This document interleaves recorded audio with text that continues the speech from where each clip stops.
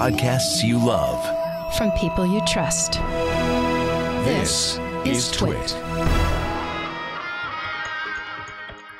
Hi, this is Leo Laporte, and this is my Tech Guy podcast.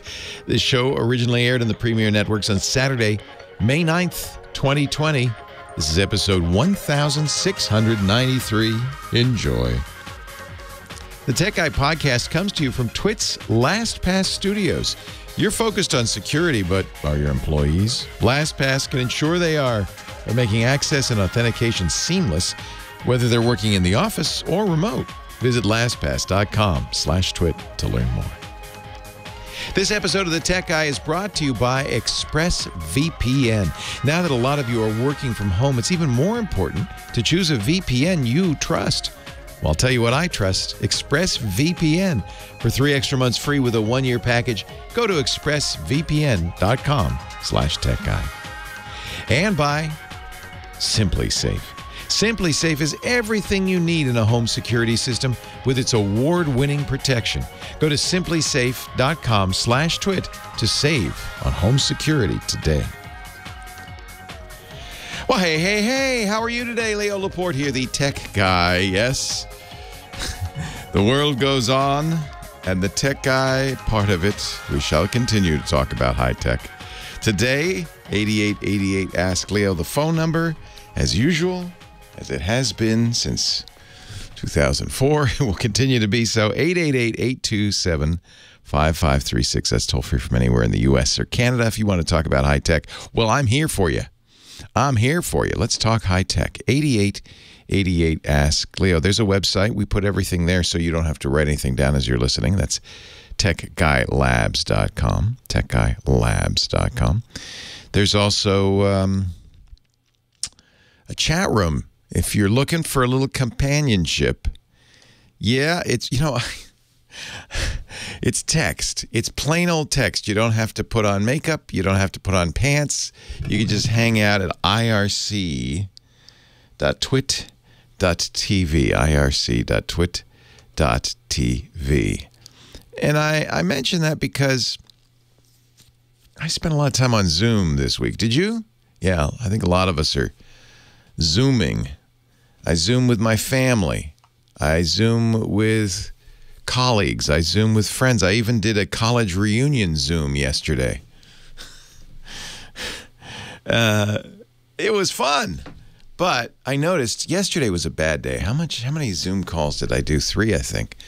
Something like 3 or 4 hours sitting at my computer zooming, tele video conferencing. It's fatiguing, isn't it?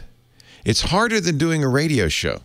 I thought, "Oh, I should be a pro at this. I do this for a living." But there's something about it. I don't know what it is. Staring at that grid of faces. Isn't it? Am I is it just me? Are we getting zoomed out? It's I mean, on the one hand, without fa- FaceTime and Duo and Zoom and WhatsApp and all the different ways we can uh, chat with one another, uh, this would be so hard, you know, just sitting at home alone. I mean, it'd be tough. So, it, I mean, I can't complain that we have friends and family, and I can have a college reunion. People I haven't seen in 40 years uh, get together and uh, and chat. We had a wonderful time. It's just like those 40 years in between hadn't existed. It was really cool. It's still exhausting. I went I went to bed and I just went, oh, that was an exhausting day. You'd, you'd almost you'd almost rather dig ditches, maybe not. Put, put up fence posts, maybe not. Work in a grocery store, maybe not. You'd almost rather. You almost would. So sometimes technology is a good thing. Sometimes it, too much, too much. I think that's it, isn't it? Too much tech is a bad thing. Too much streaming media, too much YouTube, too much Twitter, Whew, too much Facebook. Oh my! You gotta, you gotta at some point disconnect and get up and, and, and walk around and maybe even go outside. Put your mask on, go outside breathe the fresh air. This is, I think, is an important antidote to the silicon buzz that we're all staring at all the time. Just, you know, just relax a little. Take it easy. Uh, I could tell you about more conferences that have been canceled. It's kind of funny, actually. There's a running gag every year trying to trying to sucker the noobs that the big hacker convention in Vegas, DEF CON, is canceled, hoping that I don't know what it'll fool people and they won't go. this year, it's actually canceled. It's actually canceled. Of course it is. Would it would it happen in August? It's a, a really kind of I've never been, but uh, I have many friends who go, and it's a very cool convention because, well, it's just kind of outrageous, right? And there's all sorts of hacking going on, and you can get hacked too. They have something called the Wall of Sheep. If your system gets hacked, they put they put your name up on the Wall of Sheep. So uh, most of the people I know who go to DEF CON, and, and it's Big Brother Black Hat, both put on by the same uh, guy, um, don't bring anything important. They don't bring their regular laptop. They don't even bring their regular phone. They definitely don't bring an Android device. They just they go the safest way they can because they don't want to end up on the wall of sheep. No. Yeesh other i guess i you know i don't i'm trying to avoid the covid news you get we get plenty of that all day long i don't need more of that but i guess a couple of things worth saying one google has now uh, announced uh, we're not going to make anybody come in to google to work for the rest of the year facebook's done the same thing you don't have to come back in 2020 that is wild i mean this is mrs may it's May, the fifth month of the year. That's seven more months of working at home. And I wonder after after a year of working at home, effectively, almost a year of working at home, if people are ever going to go back. Remember when um, Yahoo had a CEO change a few years back, and they they brought in Melissa, Marissa Mayer from um, Google, very famous uh, Google executive, and they brought her in to, to transform Yahoo. She failed, incidentally. Spoiler alert couldn't do it. Ended up selling the whole thing to Verizon for pennies on the dollar. But going back to when she first took over, and uh, there was much hope and excitement. She was going to transform the place. Yahoo, you know, one of the great names of the early days of the internet. What's the first thing she did? She made everybody who was working from home come back. Can't work from home, she said. Not efficient. Not gonna work. Not gonna do it. Mm -mm. You coming in? We've got a place for you. Here's your badge. Have a seat. And the other thing the Silicon Valley companies do is they don't even give you an office, which means you're all sitting at, at long tables and wide open spaces. Exactly the worst thing you could be doing, sitting across from your coworkers, talking, eating lunch, spitting hacking and a sneeze and coughing, and there you are sitting there exposed all day. It's the it's literally the worst possible scenario for catching a bug. And I don't mean just COVID, any bug, right? That's why whole offices come down. We we had that uh, a few months ago here in the uh, Twit studios, and there's only about 20, 25 of us. It's not a big group, but uh, there was a. You've had this happen, right? A bug raging. Everybody got it. I didn't washed my hands, stayed in my office because I have an office. See, I don't have to sit across from people, and I think that's part of the problem. So, what's going to happen next year? Companies worry that they can't control. I know I'm an I'm a boss. I, that you can't control workers at home. You, I, I know how bosses think. You think, oh, you know what? He's not working. He's sitting around eating Doritos and watching cops reruns. He's not working. I bet he hasn't put on a shirt even in, in weeks. He's not doing anything. We don't we don't like people working from home. There's another reason when you're when you're in tech industry, there is value to the collaboration that happens uh, when you are sitting across from one another, or you're. In fact, Steve Jobs, when they first designed the Apple campus way back when, the Circle campus that they're now in, he he only had two bathrooms, and his theory was, well, people really need to I don't know what his theory. He was kind of loopy, but people he wanted people to spend time together, not even people who are working on the same project, but more importantly, kind of cross pollination within the company of ideas and and and strategies and just kind of he wanted people to be together. And you know that it's a, it makes a lot of sense. One of the reasons they say San Francisco became this tech hub uh, some years back was because they were all kind of in the same area, the South Park area, and they were all kind of hanging out and there was this cross pollination. It's not just that all the engineers are there, but that they all have lunch together in different companies, and there's a there's really some value to that. Well, that's gone. Now everybody's at Google's going to be at home in their jammies, eating those uh, fiery hot Cheetos. I don't know. Uh, well, what will happen? What will productivity look like? I think some some people prefer it, but you don't have that. You don't have that collegiality, that collaboration. And I, I, I don't think Zoom. I'm sorry. After now, having spent many days zooming, I don't want to zoom. Can we not zoom? I don't want to do phone calls either.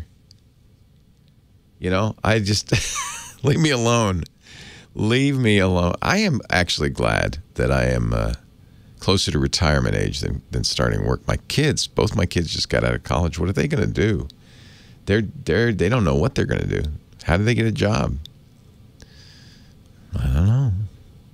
There's jobs, but maybe not the kind of jobs they want. They don't want to work in an Amazon warehouse. I don't blame them. 8888 ask Leo, what do you think? Are you are you zoomed out? And should people work from home? We could talk about anything on your mind, your tech is my problem. I'm your tech guy. I'm here for you, my friend. 888 827 5536, website techguylabs.com. And uh, of course, the chat room. As I mentioned, lots of nice people. They're good people in there on both sides. irc.twit.tv.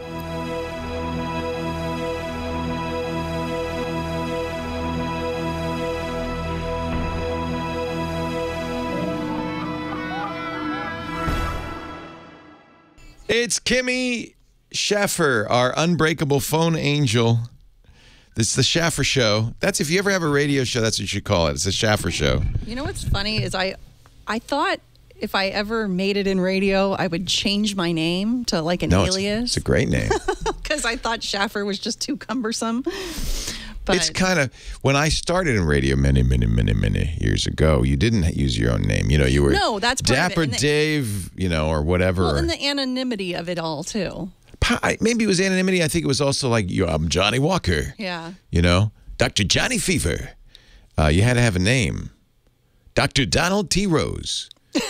I was, uh, when I first started, I had to come up with a name like pretty darn quick. And I came up with such a zinger, such a name, Oh, no. such a What peppy name. You'll fake never name? forget it. Dave Allen.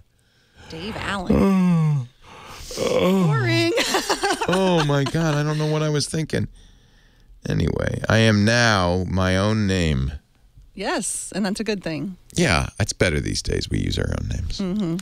So, Kim, uh, let me think. Uh, what would you What would your name be if you were Um, going to be you know, at one point, I think I was thinking of like Conway because it just seemed to Kim flow. Conway? I don't know. Kimba Conway? How about Kimba Conway or Simba Kimba? yeah. Kimba. Oh, eh, oh, eh, oh, eh, oh, Isn't that like a white lion or something? Yeah. Okay. Hey, uh, maybe I should take a call. What do you think? Just off the rails. Well, I think Tom in Milwaukee just has like a plethora of questions. I feel like I'm on a Zoom call with you. This is terrible. We could do the whole show like this. So you said your friend th- heard me say I don't want to Zoom anymore. Thought I didn't want to take phone calls. No, no, no, no, no. I'm still going to do the radio show. That's different. this is easy compared to a Zoom call. Easy. I just uh, I don't know what about a Zoom call. I think it's the grid. I think it's 20 Oh. people looking at you. There's that, and then what? Every time somebody talks, it kind of mutes out. Yeah. That that's You have to have kind of rules about talk. You know, like you need a talking stick. And watching some. these TV shows use that and do a TV show is. really Although I have to say, I've been enjoying the ads. Have you seen? There've been a few Zoom ads, Yes, like uh, the, uh, the insurance one. Geico's Flo. doing it. Flow. Yeah. Yeah. I kind of enjoy those. I have to say, those are pretty funny. That's an opportunity. And Saturday Night Live has done some fun parodies. Anyway, let me tell, let me talk to Tom. Nice to see you, Kim. That was it. That was our our, our weekly check in. That's it. We're done. Hello, Tom. Thank you, Kim. Leo Laporte, the tech guy. Hello, Leo. It's Tom. Hey, Tom. Hey, quick, quick, quick two or three questions. Sure. Um, started in VHS, then went to Laserdisc, then went to DVD, then went to Blu-ray. So I'm wondering how much better the 4K discs are than the Blu-rays. Well, they're they're they're twice as good. They're four times better. That's a good question.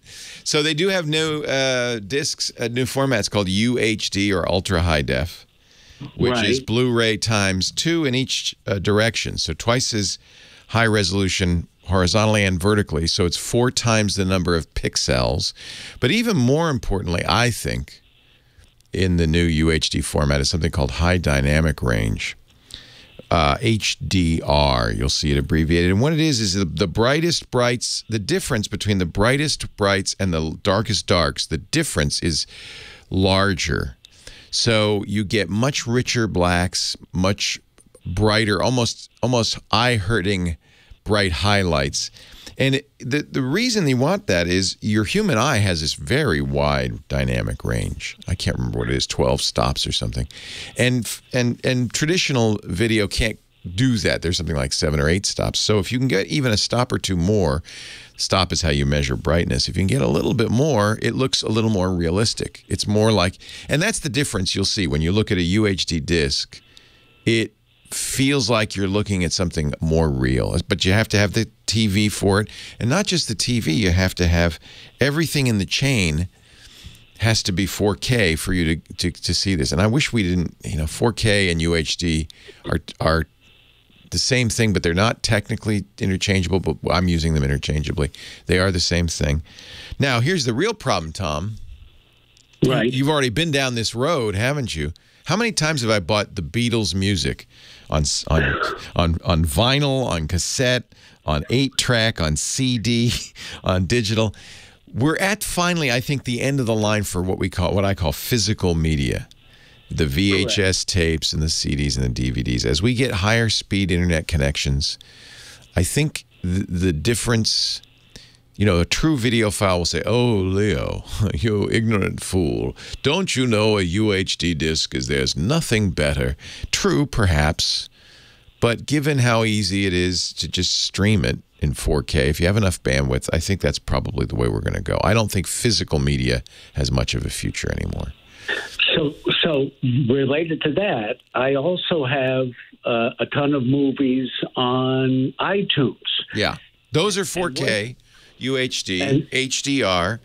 The only limitation is they, in order to get down the pipe, they have to be compressed. You need to have, and on 4K, Netflix says 25 megabits per second. I'd say even a little bit more. But even then, it's not exactly as good as the disc. I think it's fine. I think it's fine. Leo Laporte, the tech guy.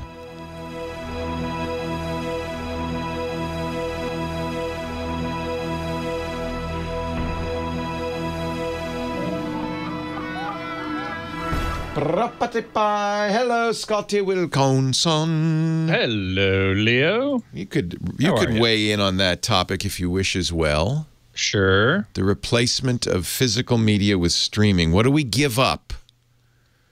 I just feel like I, I think you handled you handled it very, very well.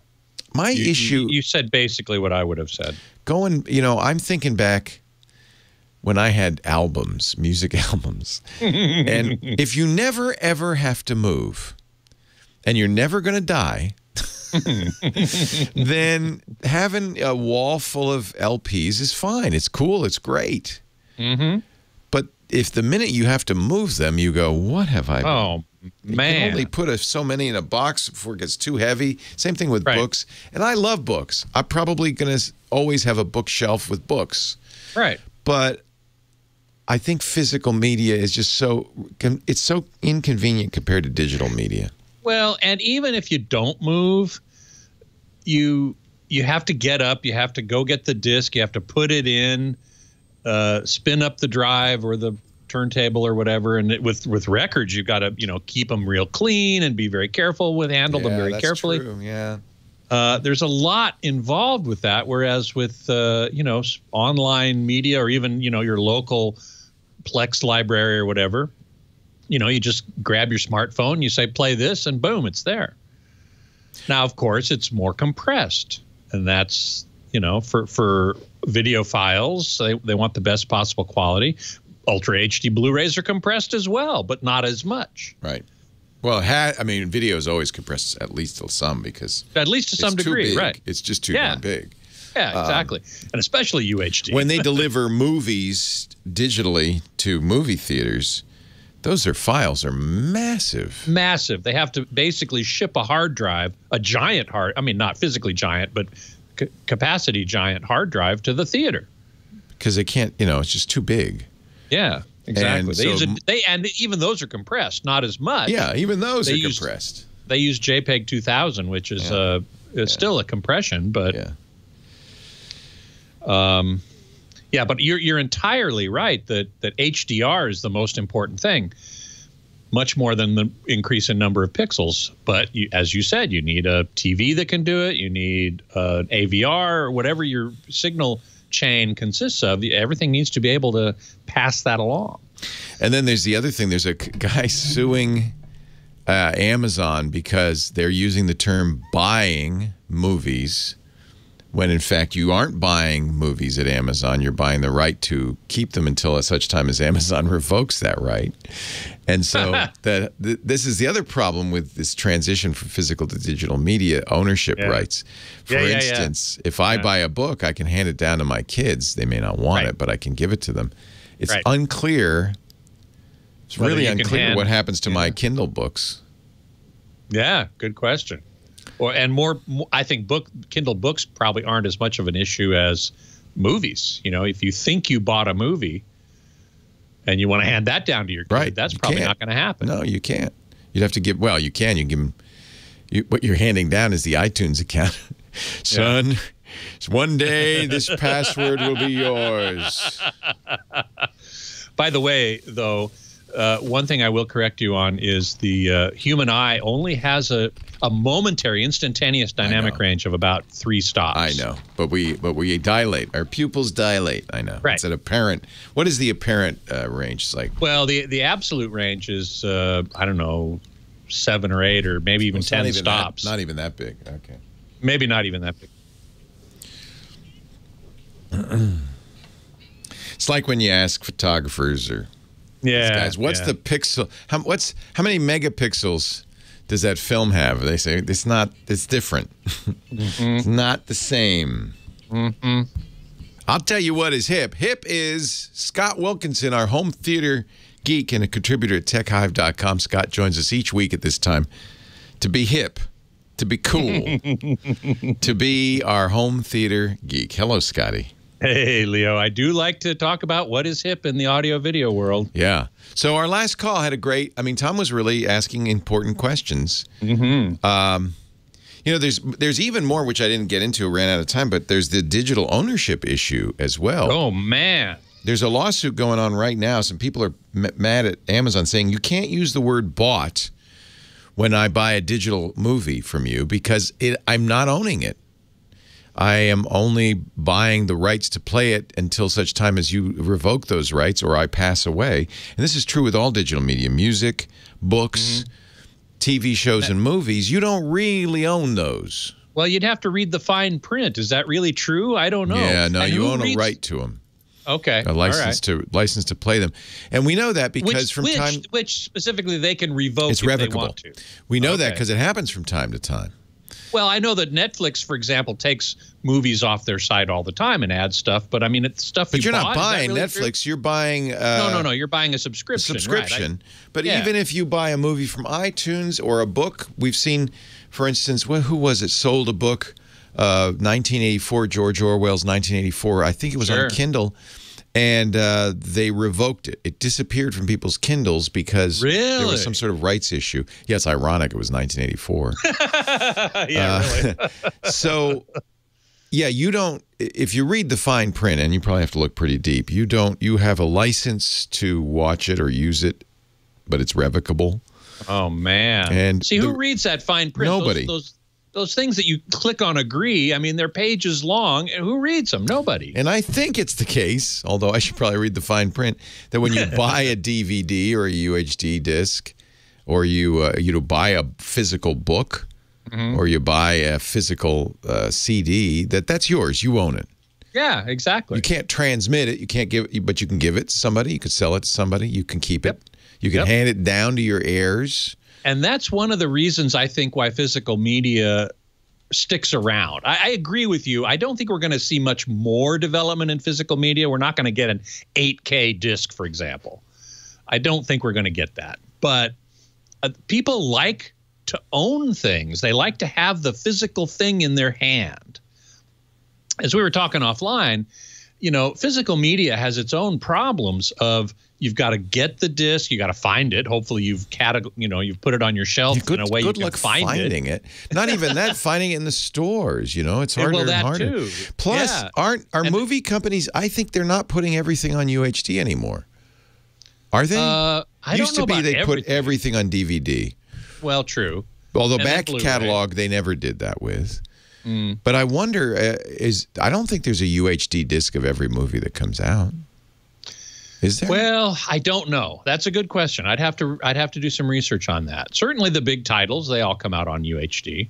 yeah. Um, and uh, over at AVS Forum, where I used to work, uh, Ralph Potts he reviews tons of UHD Blu-rays. Right. That's all he mostly all he does is re- review a- UHD Blu-rays. So who wants to schlep those around and yeah, you And stick them in the in the drive, and you you know it's it's much other- more of a hassle. The other issue, unlike a paper book, uh, these formats are going to die, maybe even you know before you do, which means you might hand down these UHD discs to your your heirs, and they might go, "Thanks, Grandpa. Now what do I do?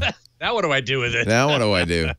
So this is and and this is an advantage of of, of digital media uh, aside from the fact that, that you might not be able to keep it forever that it can be revoked but it can be transferred from one storage device to another Right. this is the problem that that i've come i've thought about a lot in terms of uh, i mean who can play a floppy disk anymore right. hardly anybody but if you transferred that to a hard disk and then transferred that to another one it's digital data it got copied perfectly Son, I'm leaving you my entire collection of zip discs. I actually have some zip disks Yeah. and a zip drive, but I have no, Everything's no, on them. No computer with a SCSI port. Right. Remember what are you going to do with it? so in some respects, yeah, bits bits are maybe a better storage medium, at least for long term uh, I think so. I think so. Until you can print a movie. well, you know, there's stone tablets. Yeah, those have lasted. are- Yeah, They're still around. yeah, yeah. So, so the, you know, it's an interesting question. If if you're talking purely in terms of quality, physical uh, physical UHD disc is going to be the best. Is the best, absolutely, no question. And the for the enthusiast, that's all that matters, and and that's fine. I like watching UHD Blu-ray discs because of the quality. As long as you have a, a display system and a sound system that will reproduce it as best as possible, you're you're in for the best experience you can get at home. But that's a certain kind of viewer because I, for instance, and while I have a UHD player and I bought many UHD discs, I never rewatch those. What I really love having is an online catalog of a nearly infinite number of movies that I Mm-hmm. can browse around and say, "Oh, I haven't seen that in years. Right. Let's watch it." And yeah, I'm you wouldn't think of that as you're as you're scanning your rows of Yeah. discs. it's not going to be that complete. And I don't really, I mean, I'm not going to go, oh boy, it would sure be nice if I had a physical disc of this. Mm-hmm. It doesn't, the difference isn't that big, is it? No, not not not except if you're super critical. Yeah. And most of us aren't. No. Most people aren't. And so no, it's not going to be that big a difference. Of course, when the Um, internet goes out, you might wish you had some physical. media. yeah, exactly. You know, I got a I got an email from uh, from our good friend John JammerB uh, talking about this with regard to audio. He's our studio engineer, and he has friends who are massive audiophiles. massive audiophiles, and he's been playing around now with the Raspberry Pi. You, you know that one, of Oh, course. yeah. Little thirty-five dollar computer, and there's this company in Italy that is adapting the Raspberry Pi to very high-end digital audio standards, and so he's been playing around with that. It's not very expensive, and and I asked him by email. I said, "So do you hear a difference?" And he goes, "Well, no, not on my system. Probably, it's all theoretical." And Uh, not with our ears. and not with our old ears. That's right. um, and as I as I learned in my high res audio uh, unscientific study, you know, unless you have a system that can reproduce the higher than 20 kilohertz frequencies and the greater than 96 dB dynamic range from CDs, then you know having that all that extra capability is, isn't going to get conveyed by the system to your ears. So really, it comes down to what you value. Do you value mm-hmm. convenience or quality? And Yep. for me, the answer varies depending on what I'm watching. I'm really glad Yes. I have a a Blu-ray. It's not UHD of Barry Lyndon, uh, Stanley Kubrick's beautiful Right. film, boring film, but beautiful film. Because that I want to see the beauty. I'm not watching that for. Uh, you know, any nostalgic purpose or any entertainment purpose, but the beauty of the images, I want those as as crystal clear as I can get. Right. But if I'm watching Zabriskie Point or some older movie, I'm really content to stream it. And uh, most Mm-hmm. Yeah, of what I watch exactly is streamed. Even and I have to say, even then, the 4K when I go watch it on my 4K TV, it does look better. It looks good. Yeah. Oh, yeah, absolutely. And that's, I think, as you mentioned during that call, mo- as much because of high dynamic range as anything else. Yeah, You know, because that makes that does make a difference. It Yeah. makes a big difference, much more than the number of pixels. Yeah. So, So, whether you it's your right ears or your eyes, uh, Yes. you're going to weigh out the difference in quality versus the difference in convenience, Convenience, and and it may yep. not even be the same answer for the same content. Some content, Correct. Correct. You want to hear it perfectly, and some Yep. content doesn't matter as much. yep. Yep. Exactly right. That is Scott Wilkinson, home theater geek contributor at techhive.com. Thank you for letting me elaborate a little more on that answer for Tom because I, you know, Oh, sure. there's a lot Oh, more that's to a say great about question. that. Yeah. Absolutely. Yeah, Yeah. we'll we'll talk next week. Thank you, Scott. Leo Laporte, the tech guy. More calls right after this.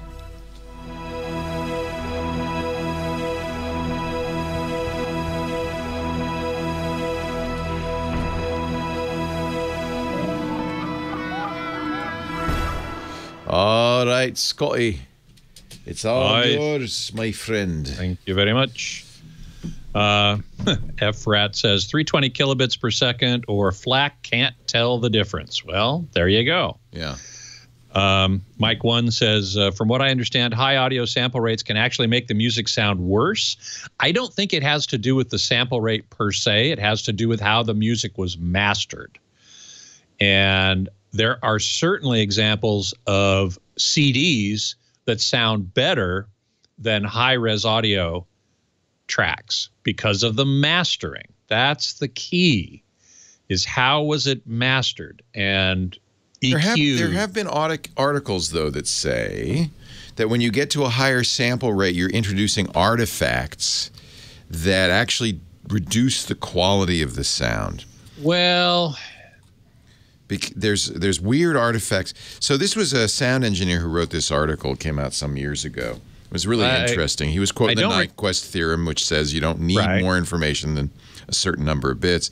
And Right. his his case certain was sample rate. yeah, his case was uh, if you do higher than that, you're going to introduce some artifacting that you may regret. Well, you know, the, the artifacting may be bad or it may be good. I mean, one reason why some people think that high sample rate sounds better is that it allows these ultrasonic art, uh, ultrasonic uh, overtones, which interact with each other and produce um what are called difference tones or combination tones down in the audible range, and that might sound better or it might sound worse. Uh, so that's that's an interesting question. I'd love for you to send me the that article if you can find I it, I will find it. Yeah, because me, I uh, would love to love I to read to- that and see, I see what this guy shrink says. Your, cal- your clock to do it, but I will find it for you. it's quite. It's kind of the article that debunks the whole high res audio. Thing. oh, I would love to read that. Yeah. I would love to read that. Hey, it's Dr. Mom Grandma and Mr. Quest and Loquacious. Always so glad to see you guys here on these happy Saturdays. Um, Jammer B has never found Barry Lyndon boring. I was going to say that one movie I will always watch on disc is Billy Lynn. And I know some people don't like it. They don't, for one reason or another, the look of it anyway, but I really do. I love the look of it, the high dynamic range and the high frame rate. Um, I also happen to like the acting in the story. A lot of people don't, and I'm in the minority there from the people I've talked to. Sorry. I really like it. Yeah, I do own that on UHD because Yeah. that's the only way really to. That's the only way to getting that see high them. frame rate, but Oh yeah, you are. Yeah, you're getting 60 anyway. Yeah. He shot it at 120, but you're getting 60 on the UHD Blu-ray, which is way more than the 24 that every other movie, almost every other movie, was was shot at. Um, another movie at a high frame rate, another Ang Lee, and as a matter of fact, more recent, called Gemini Man. I haven't bought that on UHD Blu-ray yet because the movie itself is terrible. I saw that in the theaters and I was just, oh my god, this is awful. But it looks great. The 60, I mean, the the motorcycle chase is amazing, and I'll probably buy the UHD Blu-ray just for that motorcycle chase scene at 60 frames per second uh, which just looked phenomenal. But the story, I was just like, ho hum, give me a break. I can do, there's so much better. So many better movies out there. Um, let's see. You, Xufi, X U F I. What about Shoutcast streams or Icecast? You know, VLC used to have Shoutcast, Icecast directories that have good sample. I don't know. I've never tried Shoutcast or Icecast. I'll have to go look that up. Um, I don't know about those. So thanks for letting me know. I will uh, check it out. there, Shoutcast was a proprietary version of MP3 streaming, and Icecast, which we use, is a open source version of MP3 streaming. Oh, okay. It's MP3. It's MP3, so it's it's lower quality than than FLAC or or Wave or lossless uh, codec. Generally but how much? for live stuff, which is like Yeah. what we do. Yeah, yeah, exactly. Because Video. it has to be low. It has it has to be low bit stream, low bit rate. Uh, and if and if it's just talking, who cares? You know, it can it can sound voice can sound just fine with a low bit rate, but um, music not so much. Leo Laporte, the tech guy, 8888 Ask. Leo, the phone number, line three, Tom. Oh, I think it did Tom in Milwaukee. Let's do uh, Johnny in Atlanta. Hello, Johnny. Hey, Leo. How are you? I'm well. How are you? Good, good. Hey, uh, uh, I've called you a, a number of times over the last few weeks because I've worked with my church as we get ready Yes. to move back into the physical building. Yes. And uh, so we're not going to be back into the church until around July. And when that time comes, it's going to be very restricted. Right. Okay, so they're going to they're going to remove all the hymnals. They're going to remove all the you know reading material. Yeah, you don't want to touch And so- anything. Yeah. Okay. Right. So nothing to be touched. Okay, so they want to broadcast or be able to display the words to the uh, the lyrics to the hymns. Yep. The words to the Bible scripture. You know, maybe notes from the minister. Probably you know using something like you know I've been looking at uh, um, what my worship or some some kind of ser- you know software. But the challenge here that, that they're that they're looking at is wh- what's the best way to display that? Like, do you want to use projectors? This is a this uh, sanctuary has uh, four thousand. Let's say four thousand eight hundred twenty-one square feet Wow. is the uh, is the sanctuary. All right. Okay, so it seats about four hundred. Uh, it's three sections of pews, and I think the furthest pew goes back. I think twelve rows, 12, 13 rows. So actually, it's not that big. Uh, you could. It's more of a medium to smaller church. Yeah. But, but the, the the person that's having me look at all this, they're saying that minimum we probably need to be looking at is probably uh, 90 inches. Uh, Yeah, I think you want to go projection. You do, what you what you don't need to do is go with a direct view because first of all, you're not going to get 90 inches. I have a 100 inch projector in my living room, and uh, it's nice. You can easily get an inexpensive projector to go to hundreds of inches. Um, just by you, Right. you need the, enough lumens, of course, to, so it's bright enough. But I imagine that the sanctuary isn't super bright. Well, that's not true because we have a number of beautiful uh, stained glass Oh, windows. so light coming. brightness is a problem. All right. especially as you know sometimes the service is running around noon right and uh, sometimes that's peak time Yeah, for the sure, sun that's peeking through some of the uh, for the window so brightness is an issue and plus we're going to be limited to the number of people that can come in the sanctuary. So there's probably going to be you know They're a few more services spread out too. Yeah. right through the day. So there'll for sure be people at the farthest uh, possible distance. How far would you Yeah. say that is? Uh, I have no idea. I have no idea what the furthest distance Well, is. Well, if you have Uh, I- 14 rows, uh, and let's say there's what, I don't know, four or five feet between the rows, the farthest people probably aren't more than 100 feet away from the Right, screen. yeah. Let's just, that's Right, and- very ballpark. You know what? Let me get Scott Wilkinson in on this because he's still here. Hi, Scott. Hey, And- Leo, and- boy, I'm glad you called me up here because This seems like I've something some- up your alley. Well, yeah. Check this out. Um, I was as as your caller was talking, I, I went to projectorcentral.com, which I'm actually starting to write about. I'll be telling you about that in the next week or two. But right at the top of the homepage, boom, church projector buyer's guide. Wow. cool. What? That is so cool. It's almost as if it was meant to be. Hey, can I ask this question? When you're doing this and you've got two projectors, I mean two screens, that mean you have to have two projectors? Like if you're Yeah. using a software, say like Yeah, Easy yeah, Worship, but each you've got to- screen each screen needs a projector. You Yep, don't I'm you don't need so. two sources, but you need two projectors. right. okay, okay, so you need one laptop. Split split to two different. It's like have a laptop with two monitors. Okay, so you have a laptop with two monitors, and so like you, I, again, I'm looking at different software, and so I'm, I guess something like Easy Worship. I don't know if you're familiar with that, Leo. Yeah, I'm not familiar with the software at all. So, uh, you know, I think a lot of churches use PowerPoint, believe it or not, to show the to show the uh, I don't want to say lyrics, to show the words of the hymns. Are they lyrics? I guess they are.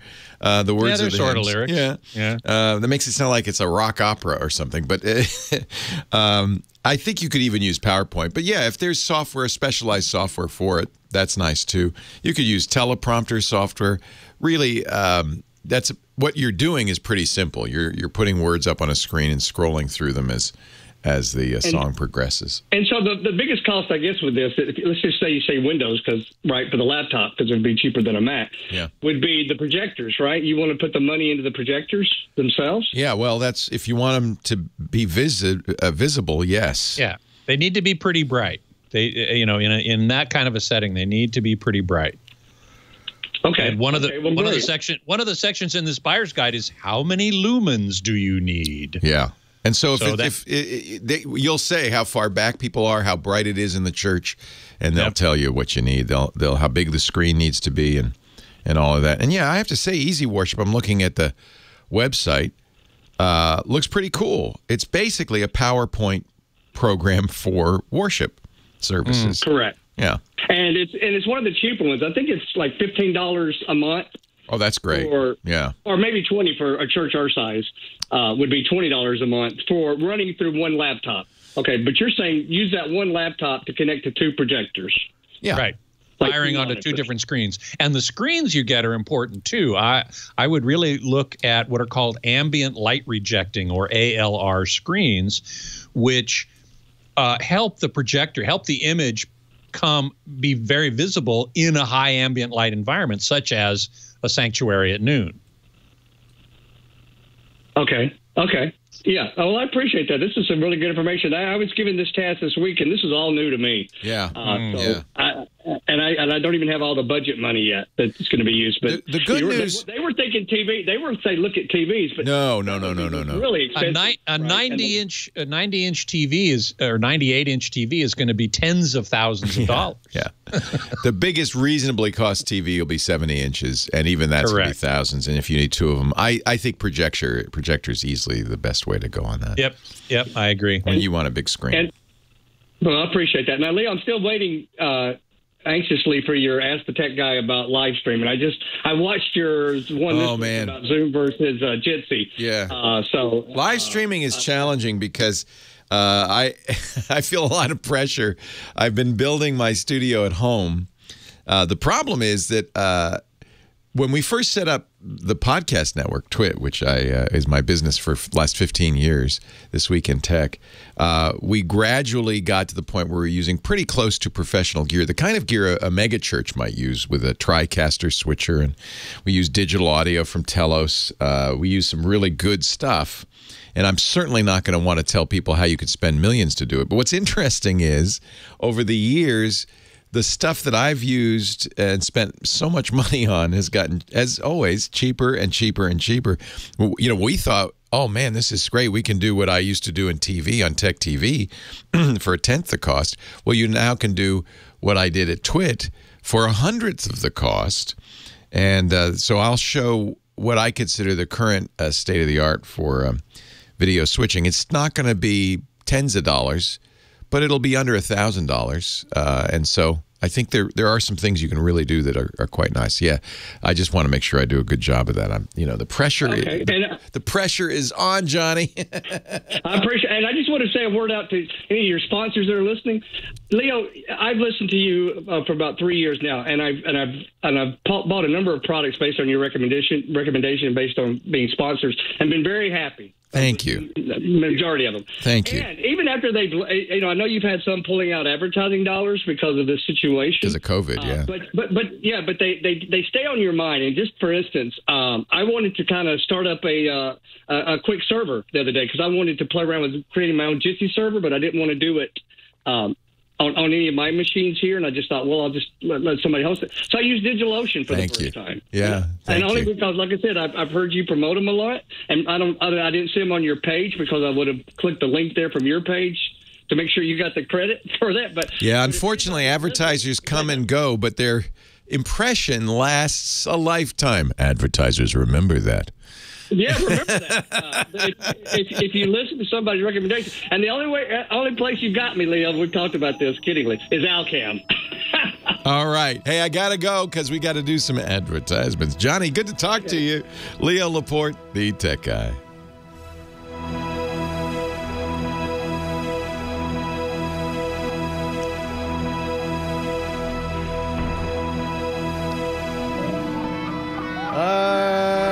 Scotty, it's your turn once again. I'm still looking for that article. If I find it, I'll tell you. I I just just uh, shoot it over to me. I appreciate it. Indeed, I will. And don't forget to put that clock up. That helps me. Anyway, hey everybody. So good to see you all. Uh, Phoenix Warp One uh, asked an interesting question in the chat room. So, how does 4K work with animation? Most cameras are made to shoot 4K or HD or whatever. That's true. 4K, 4K these different these days. But how can animated movies be upgraded to 4K? Akira, for example, started out as DVD, but how does that translate upwards to 4K? Well, this is always a this is a great question. First of all, most animation, or at least computer generated imagery, CGI that's that's used in movies, is not 4K. It's generated at 2K, and the reason is uh, processing power and time. Uh, doing animation, rendering animation at 4K takes four times as long as at 2K, and in the movie business, time is money. So they they tend not to do animation at 4K. I don't know uh, about anime or, or certain or strictly animated movies like the Pixar movies and so on. I, I honestly don't know whether they start or end up as 4K native files or not. I tend to doubt it, but I'm not sure. Uh, the good news is that a lot of animation can be upscaled pretty well, pretty easily, unlike you know pho- pho- photographic um, imagery. So uh, I think Akira, for example, can probably be upscaled pretty well because the level of detail and the um, gradations, uh, subtle gradations of color, aren't as pronounced in most animation. And so you can more easily and effectively predict if you have one pixel and it needs to become four pixels. It looks like I'm looking at Akira. It looks like Akira. It's so old, 1988, that it was not even CGI in the beginning with. It was probably cel animation, Ah, and so you just take Well, higher that's a- resolution pictures. you just take exactly you just hire yes if it was cel animation that's one thing sure you can just uh, scan it uh, put it through a film scanner at a higher resolution and boom you're done um, but if it started out in a computer it probably didn't start out at 4k um, but upscaling it is easier than upscaling photographic images. So And in some cases, you might have the models, you might have it all, and you could re-render it at a higher resolution with higher and that's textures. I think that's particularly true of video games. Yeah. because Yeah. video games are based on models and vector ray vector vector ray analysis and uh, triangles and and so on. So sure, th those are algorithmic, and we're going to start seeing 8K video games before too long. The Right. Sony PlayStation 5 can do 8K video games, and we're that we're going to see them there. So I count video games as a slightly different uh, animal than uh, animated movies. Uh, but anyway, yeah. So it, it's a very interesting question. Um, let's see, Maverick fifty six. Uh, whoops, I hate it when the, it scrolls. Uh, it sure. Uh, it, hmm, if you play video games, but in case you know the answer, is there a big difference in playing video games in 4K as opposed to HD? My PS4 is the first that came out so that it's not 4K, but wondering if you, if you can tell the difference. Um, in a case of a video game, you probably can, and that has to do with motion detail, right? So video games have a lot of motion in them, or else they're boring, right? I guess I'm not a video gamer, so I don't really know, but I'm going to assume that video games have a lot of motion. They're action, right? So when there's a lot of motion, uh, it's possible that higher pixel count will give you better resolution, although that has more to do with frame rate and refresh rate than with with uh, physical resol- with spatial resolution. There's two types of resolution. There's spatial resolution, which is you know 1920 by 1080 or 3480 by 2160 or whatever the spatial resolution is. Then there's temporal resolution, which is the resolution as you move things around, either as things move in the frame or as the camera, quote unquote, pans or moves around. So uh, I'm I'm now taking it back when I say that a 4K will look better be, in motion resolution. It won't necessarily because that depends on temporal resolution, and that depends on frame rate, and a, and a couple of other factors. But in any in any event, um, uh, it, it may or may not look better. It all depends on the processor, really, and the speed, the frame rate that the game is re- being rendered at. And PlayStation 4 has a faster processor than PlayStation 3. PlayStation 5 has a faster processor than PlayStation 4. So, you know, the faster the processor, the more frames it can render per second, and the better the motion blur will be. And that is how I respond to that. Um, oh, Loquacious, it's always so good to see you too. As I said to Loquacious in the uh, chat room, she and I are both uh, uh, Ren Fair rats, and uh, I missed the Ren Fair this year. It's obviously been canceled, and I'm I'm bummed not to be able to go with my wife and hoist a hoist a glass, ho- hoist a mug, a tankard of ale, and say huzzah! Uh, Beatmaster uh, agrees with Leo. Akira was uh, released in theaters, so there's a negative on film. Uh, true, but what was it? What was it rendered at? I, if it was a cel animation, then yeah, as we as we said, no problem at all. Uh, Doctor Mom Grandma says uh, Team Ghibli, the collection, including Spirited Away, is now available to stream. Well, that's cool. Um, I, I did enjoy Spirited Away. Uh, Howl's Moving Castle was that Ghibli? I don't remember. Um, and there was another one more recently, and now my brain is not quite remembering it. Um, there's Ghost in the Shell, of course, but that was the most recent one was a live action with Scarlett Johansson, um, which was an which was okay. The, the graphics were beautiful. Uh, the the visuals of that movie were really really nice. so that is uh, how I think about that. Uh, so Phoenix, I answered your question. I think. Let's see here. Uh, oh, Retro G, could, could I recommend a replacement TV remote that has a headphone jack for private listening?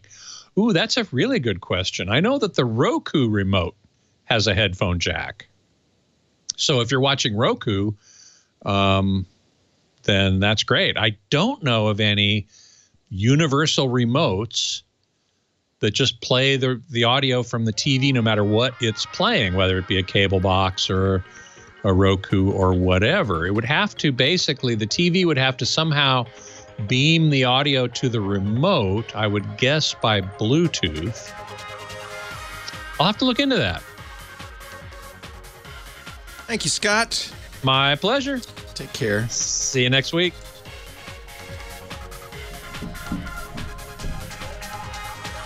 Well, hey, hey, hey, how are you today? Leo Laporte here, the tech guy. Time to talk computers, the internet, home theater, digital photography, smartphones, smart watches, you know, all that jazz. 8888 Ask Leo, the phone number 888 827 5536. Toll free from anywhere in the U.S. or Canada. Larry Petaluma. Hello, Larry.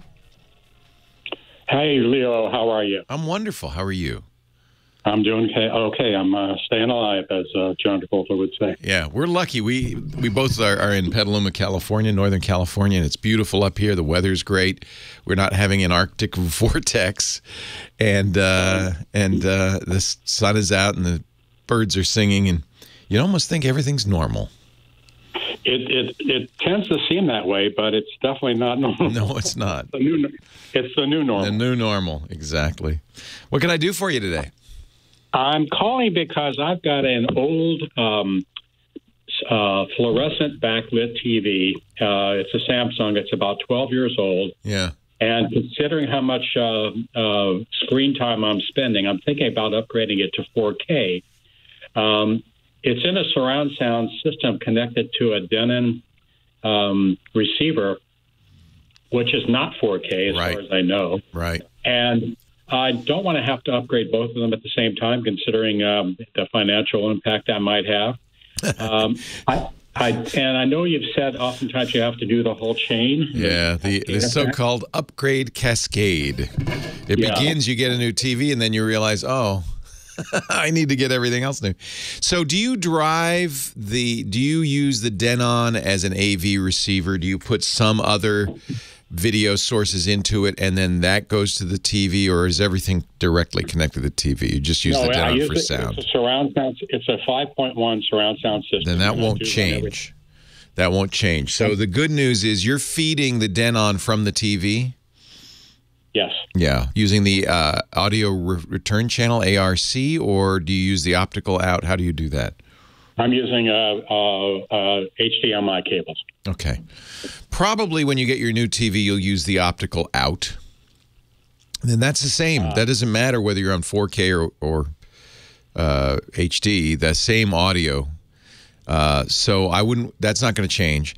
It. The reason I had to upgrade is because I was doing a lot of streaming, and the streaming stuff was coordinated by the AV receiver, the Denon AV receiver. So I had my Ultra, my Roku Ultra, plugged into that. I had to buy. First of all, I had to buy a Roku Ultra because I, if you Well, want 4K Strange that you streaming, mentioned. I, I just did buy a Roku Ultra. Oh, good, uh, good. on- about a week ago. That's 4K. because The old one was getting a little funky, and it works fine with the with the Sure. with, the, with the HDMI. ah, but you won't get 4K if you're putting the Ultra through the Denon. The Denon's not going to pass a 4K signal. Okay, because I I and I was curious, so I actually I actually contacted, I emailed Denon's customer service, asking them if I could do this, and they said I shouldn't have a problem with the 4K, Yeah. which conflicted with, with, with what I've heard you say. You won't have a problem with it. You just won't get 4K. You'll get Oh, 1080p. There won't be a problem. you just won't get. It'll down. It'll downgrade. What you'll want to do with the Ultra is plug it directly into the TV. Okay, I got it. All right, so and so later, so I can still get I can still get signal. Just be it'll just be downscaled, and then when I want to upgrade the receiver, then I can get the full 4K. Yeah, you can test this uh, theory when you uh, plug in your Denon. If you switch to a video input from the Denon and look at your TV, your TV will say, "Ah, I see a 1080p signal," and your TV will play the 1080p signal. Regardless of what's going into the Denon, it's never going to output more than a 1080p signal because it's not a it's a high it might not even do that if it's not a high def AV receiver but if it is that's the best you're going to get. You're not going to get 4K out of it. It doesn't pass in other words it doesn't pass it through Yeah, I got it. How much content on TV is actually 4K anyway? Is, there's not much. None on TV at all. But on the Roku. Uh, on the Roku, quite a bit. Net, much of Netflix's new stuff is 4K. Uh, Amazon Prime is shooting in 4K. Um, if you are buying movies from Apple or Vudu or uh, Google or Amazon, much of that will be 4K. And more importantly, the 4K HDR. That really does make a difference. Okay. So, all right. So I so I could buy the TV now and then and and and just run the Roku directly to the TV to get 4K. Yeah, that's what I would do. I would not pass it through the Denon because the Denon won't pass the 4K information along. It'll it'll what what happens all the way down the chain is uh, the uh, the Roku will say Denon, what do you speak? And the Denon will say I speak uh, these things, including 1080p, and it'll say fine, here's a 1080p signal. And the Denon will say to the TV, what do you speak? And the TV will say, well, I speak 4K, but I also speak 1080p. And the Denon will say, well, I speak 1080p, and they'll so the whole chain will end up being the best the Denon can do. But if you directly connect it to the 4K TV, the 4K TV will say to the Roku Ultra, what do you speak? It'll say 4K. Good, let's do it. And then how do I get the surround sound uh, system? The TV, the so the TV is coming. uh, You feed the TV audio, which will have an optical out available to it. You could use the ARC as well, but I would use the optical out and feed okay. that into the Denon. The Denon uh, T will, and then you you'll have a setting, I think, on the Denon. If not, you can use the HDMI. But there'll be a setting that says, okay, yeah, TV sound, and that TV sound will be seven one or five one, and uh, you'll be able to play it. Great. Okay, wonderful. Now, All right, thank you. I, I have thank to. You are very welcome. I have to uh, acknowledge Mike Heiss, who is an expert on this in the chat room, who says my Marantz AVR all pass 4K through. So your Marantz uh, AV receiver is not a 4K receiver, Mike. He's in our chat room, so this is going to take a while. So I would, you know, uh, what you want to do is, and you can easily verify this. Take that Denon plug it into your uh, um, 4K, your new 4K TV, plug a 4K device into the Denon, and see what the TV's seeing. My experience has been, and I guess this might depend on the device, on the AV receiver using, the TV will go, yeah, thanks for 1080p 60. That's great. I appreciate it. You have to check to see whether it passes through. I, it doesn't seem like most AV receivers are not, well, maybe they are just passing passing it along. okay, sure, whatever. Um, Mike says anything with HDMI 2.0 HDCP, which is most current products, will do 4K. Maybe that's the issue. Current. so yeah, I would say just try it, see what you get. HDCP is another issue. That's the content protection, the copy protection, and that also can throw things off because, uh, as you know, Hollywood is terrified that you are a pirate. 8888 Ask Leo, Leo Laporte, the tech guy. Your questions continue.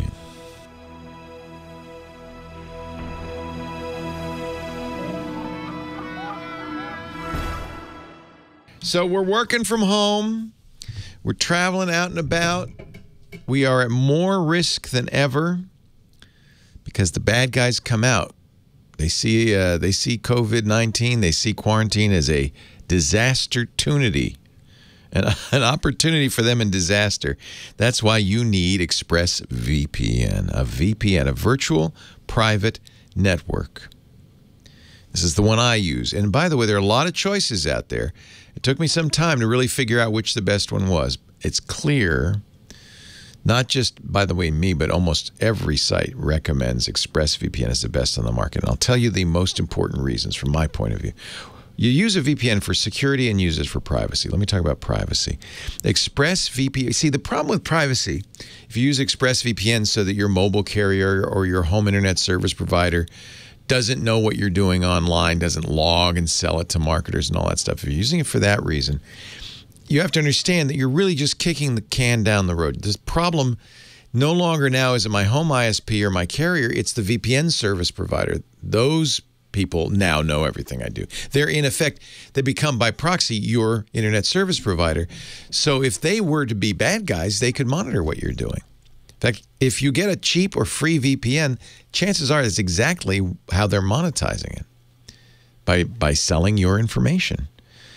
The, the thing I love about ExpressVPN, not only do they not log, but they stand so they're so strong about this, so adamant. They actually created a technology called Trusted Server. When you log into ExpressVPN, the server that you're logging into spins up your own version, your own unique trusted server. You operate through that the whole time. And then when you hang up, it spins it down.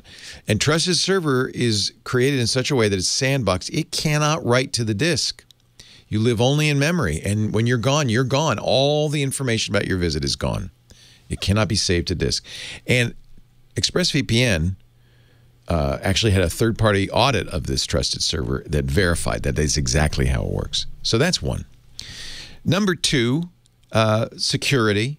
The whole idea of, an of a VPN of any kind is that when you're at a coffee shop, an open access point, even at home, no one can tell what you're doing except the service provider where you emerge into the public internet. Again, that's why you got to choose a good one. A lot of times people don't use a VPN unless they absolutely have to because oh, it's so slow, it slows me down. Not ExpressVPN. This is the other reason I love it. I've never seen a faster, and maybe it has to do with trusted server. I'm not sure. I've never seen a faster VPN. I know one thing that makes it fast. They have uh, servers in nearly 100 countries. So that means you're almost always using one that's very fast nearby. I always use the San Francisco one. So that really cuts down on the hops, makes it a lot faster. Um, fast enough, though, that here's an interesting thing no lag. You can stream HD videos, no buffering. And that brings up another reason you might like ExpressVPN because you can log into other countries. You can be, you can appear to emerge on the internet in uh, England. So let's say you want to watch Doctor Who. You've got a Netflix subscription. It's not on Netflix US. It is on Netflix UK. So you fire up Netflix, fire up ExpressVPN, say, I want to be in London. Suddenly you're in the UK. You refresh your Netflix, and there's Doctor Who. Works in Japan with anime. There's a lot of great anime. That's really clever.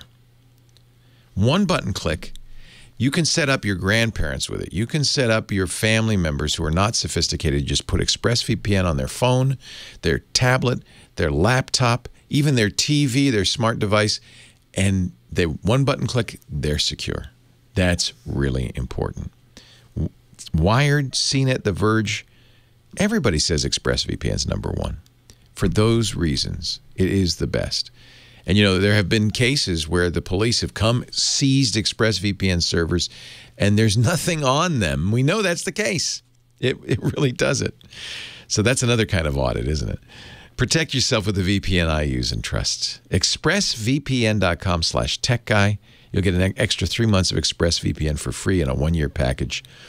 It's really interesting. I think because we're all kind of trying to stay safe these days, and because we're doing a lot of stuff at home, ExpressVPN has suddenly exploded in popularity. Maybe it's because I keep telling everybody about it. I don't know. I'll take a little credit. It's really good. ExpressVPN.com slash tech guy. If you hear other people say it, oh, yeah, Leo was talking about that. Just use our address, if you will. ExpressVPN.com slash tech guy. We thank ExpressVPN for supporting us during this crisis for making a great product, and we thank you for using that address and letting them know you heard it here. ExpressVPN.com slash tech guy. The great Richard Penniman, Little Richard. He will be missed, but I think you're going to see a lot about him over the next week. The man who really invented rock and roll and taught Paul McCartney how to go, whoa. Leo Laporte, the tech guy. R.I.P. Little Richard. Uh, 8888 ask Leo the phone number. Joey on the line from San Diego. Hi, Joey. Hey, Leo. Hey. How you doing, pal? I'm well. How are you? Oh, always happy to talk to you, man. I look forward to it. Thanks for calling. What can I do for you? Leo, I guess you kind of talked about the one question I had because I was going to ask you. I I guess I'm older like you, and I listen to that Apple format. I love music, so the AAC format. I would just kind of wanted your opinion on. You know, I, I listen to it and I just enjoy it. It sounds you know? good. I, yeah. So it's an in, the whole story is kind of interesting. You might have. Can I tell you a story, Joey? Only you and I all know. Put, put, put your head back, relax, put your feet up, and I'm going to tell you a little tale. A little tale of audio compression. It all goes back to a, a German company called Fraunhofer. The Fraunhofer scientists noticed an interesting feature in human hearing. It's actually been known for some time. When you're hearing one frequency or a frequency, audio at related harmonic frequencies but not the same are disappear. So what they observed was, look, if you're listening to music and you're hearing a particular sound, it means that related sounds on other harmonics you're not hearing them. Your ear doesn't hear them. We could take them out. And this was a huge revelation to them because if they could take that data out, they could shrink the file. And so that was the premise behind MP3 audio. Was Can I ask you a quick question, Leo? Sure. That you explain that, Yeah. you did a good job explaining that, and you always hear that. But those frequencies that they're taking out are very important because although you can't hear them, your body responds. I think so. And I think that it's also an imperfect science. So I think you're exactly right. When you're listening to MP3s, if you are taught what to listen to, or somebody says, listen now, listen to this, listen to that, you can sort, you can tell. The quality is not the same. And that's what the Fraunhofer don't science. respond to it. You're not. Yeah, you're not- you're, you're not there's no emotional. I agree. I agree, Joey. nothing. And there's even there's even audio artifacts. And one way that they can kind of make an MP3 sound better is by increasing the bit rate. So, uh, MP3 normal MP3s, the ones you most often hear, the ones you buy from uh, music companies and stuff, are stereo 64 kilobit per channel. So each, the left channel has 64,000 bits per second of sampling, and the right channel has 64,000 bits. Together, it's 128 kilobits per second. That's the. Don't, Mike, don't Apple claim 256? well, wait a minute, stop, because I'm not done yet. The story has just begun, my friend. so, so 128, that was the standard for a long time, and a lot of people felt you can't tell the difference. You can, if you're taught what to look for, you can. I had a Dolby scientist uh, bring me into the Dolby Labs in San Francisco. I was walking by, he said, "Hey, Leo, psst, come here." And literally, psst, come here, listen. And he played an A/B comparison. And if you know what to listen for, you can tell the difference. But you can you can make that less apparent by increasing the bit rate. 128, not enough. Let's make it, as you said, 256 or even 320,000 bits per second. And by slowly increasing the bit rate, there are other things they can do, something called variable bit rate, where, where they sense it's more complex music, they use more bits to represent it. All of that can improve it. But the same thing is still happening. It's what we call lossy compression. They're taking bits of the sound out, bits that psychoacoustically you don't hear or you theoretically don't hear, but they're still removing bits of the music. That's how the compression works. The Fraunhofer guys came back to the table some years later, said the, the technology has improved. We can do a better job. And they made AAC. That's the one Apple uses. That's the second that is a successor to MP3 and in theory a little bit better. Mostly what they were able to do A is say, better. yeah, well, it's the same thing though. They're still removing. To me, but okay. Yeah, it sounds better, right? They got better. They're still taking chunks of the music out, but the main advantage of AAC was we can at 128 or 160 kilobits per second, we can give you much better quality. Apple decided to release all of its music, all the iTunes music on 256 kilobits per second AAC, and they felt this is as good as it needs to be, almost CD quality. But remember, a CD is not recorded with a lossy compression te- technique. There is no loss of the audio. The CD has everything. So Apple also offers a way of recording digitizing CDs called Apple Lossless. This is an AAC, it's not MP3. They're not taking any chunks out. They're compressing it without losing any data. In fact, if you take an Apple Lossless file and burn it to a CD, it will be bit for bit identical to the original CD. So Can that play on a like your i? iTunes can play Apple lossless. There's a very, maybe a more popular open version of that called FLAC, FLAC. But both of them are really similar because it's the same bit content ultimately. Leo, okay, can you buy this music on the Apple Tune like the, the lossless? No, they don't sell lossless. No, they don't sell lossless. I don't think they sell lossless. I think they only sell AAC. They don't even mention, by the way, they don't even want you to have to think about this. But there are plenty of, so they don't mention what our bit rate is and all that stuff unless you look deep within it. There are plenty of places you can buy music that is recorded uh, either at a higher bit rate and then distributed at, uh, using FLAC or Apple Lossless. iTrax.com is one, I-T-R-A-X.com. They call it high definition music. They make new music and they record it with higher quality equipment using 24-bit sampling.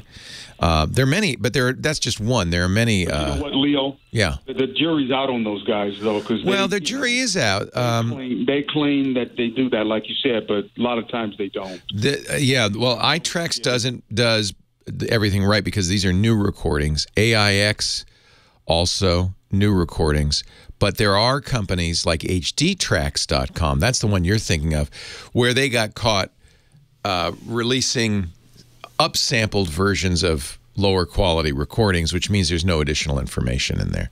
So you do want to be careful. And by the way, if you're buying something that was recorded pre-digital era, pre-1996, if you're buying my one of my favorite albums, Miles Davis, Kind of Blue, that was recorded on reel-to-reel tape. There's no high resolution anything in that. You know, there's no point in buying anything better than CD quality of that because that information wasn't recorded. It was put on a reel-to-reel tape. So it's silly to think of high bitrate music unless, unless it's modern music and recorded digitally. And even then, you only want to buy the bitrate that was recorded at and nothing better because that's the best co copy of that. Anyway, I think most important to understand in all of this is that MP3 and AAC are lossy. They take chunks of the music out. Um, but you don't have to worry about that because uh, you your ear probably can't hear it, especially at a higher bit rate. If you if you are concerned about that, CD quality is probably as good as you your ear can hear. There's some still debate about that. And anything that's recorded losslessly using uh, Apple Lossless or FLAC from CD quality is completely the same quality and sounds very, very good. Leo Laporte, the tech guy.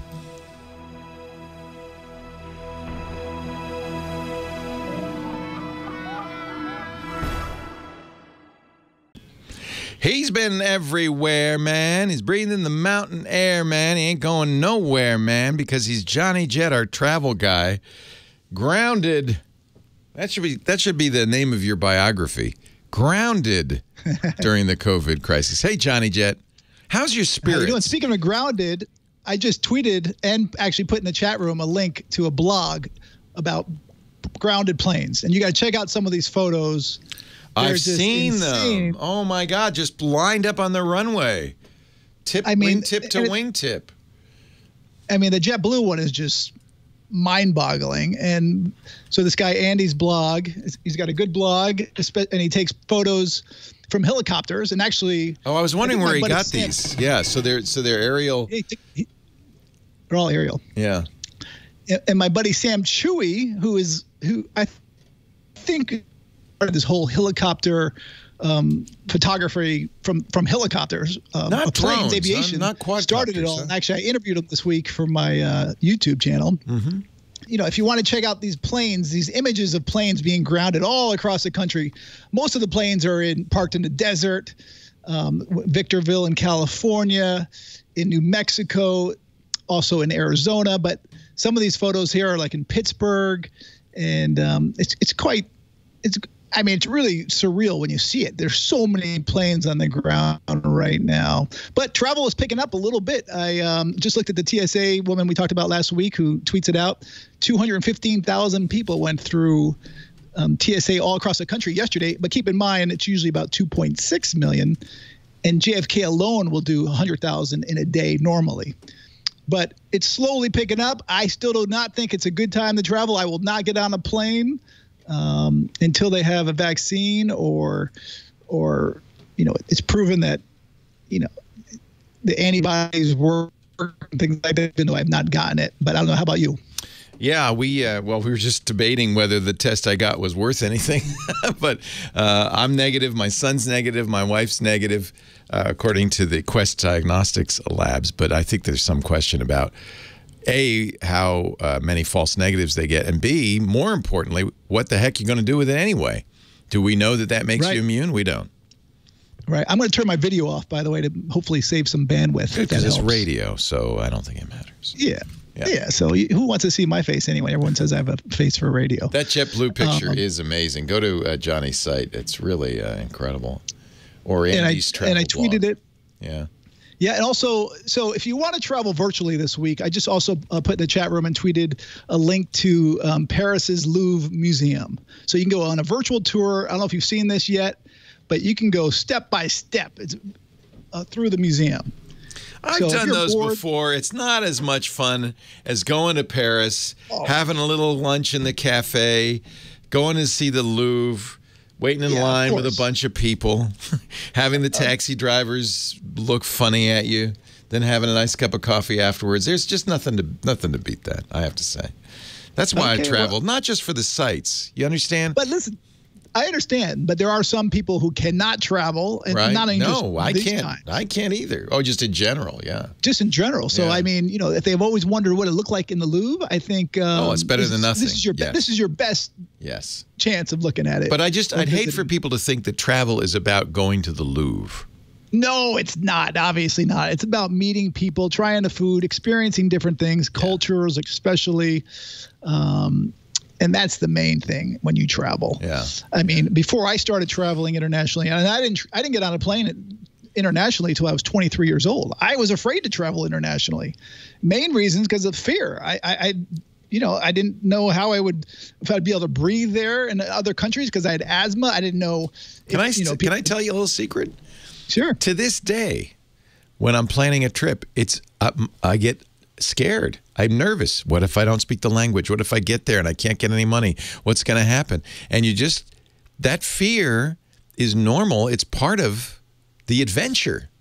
And you just go, okay, I'm going to make it. It's going to be fine. Uh, there's always the American embassy if I get in trouble. And you just go. And it always, always turns out amazing. Sometimes you have adventures, but that's the point, right? For We- sure. We're traveling for for the adventure. Hey, when I before I left the country, I didn't. You know, I thought I'd be unsafe in other countries. I actually feel safer in other countries than I do in America. Just, to, I mean, and that's got nothing to do with political. This is no matter who was president.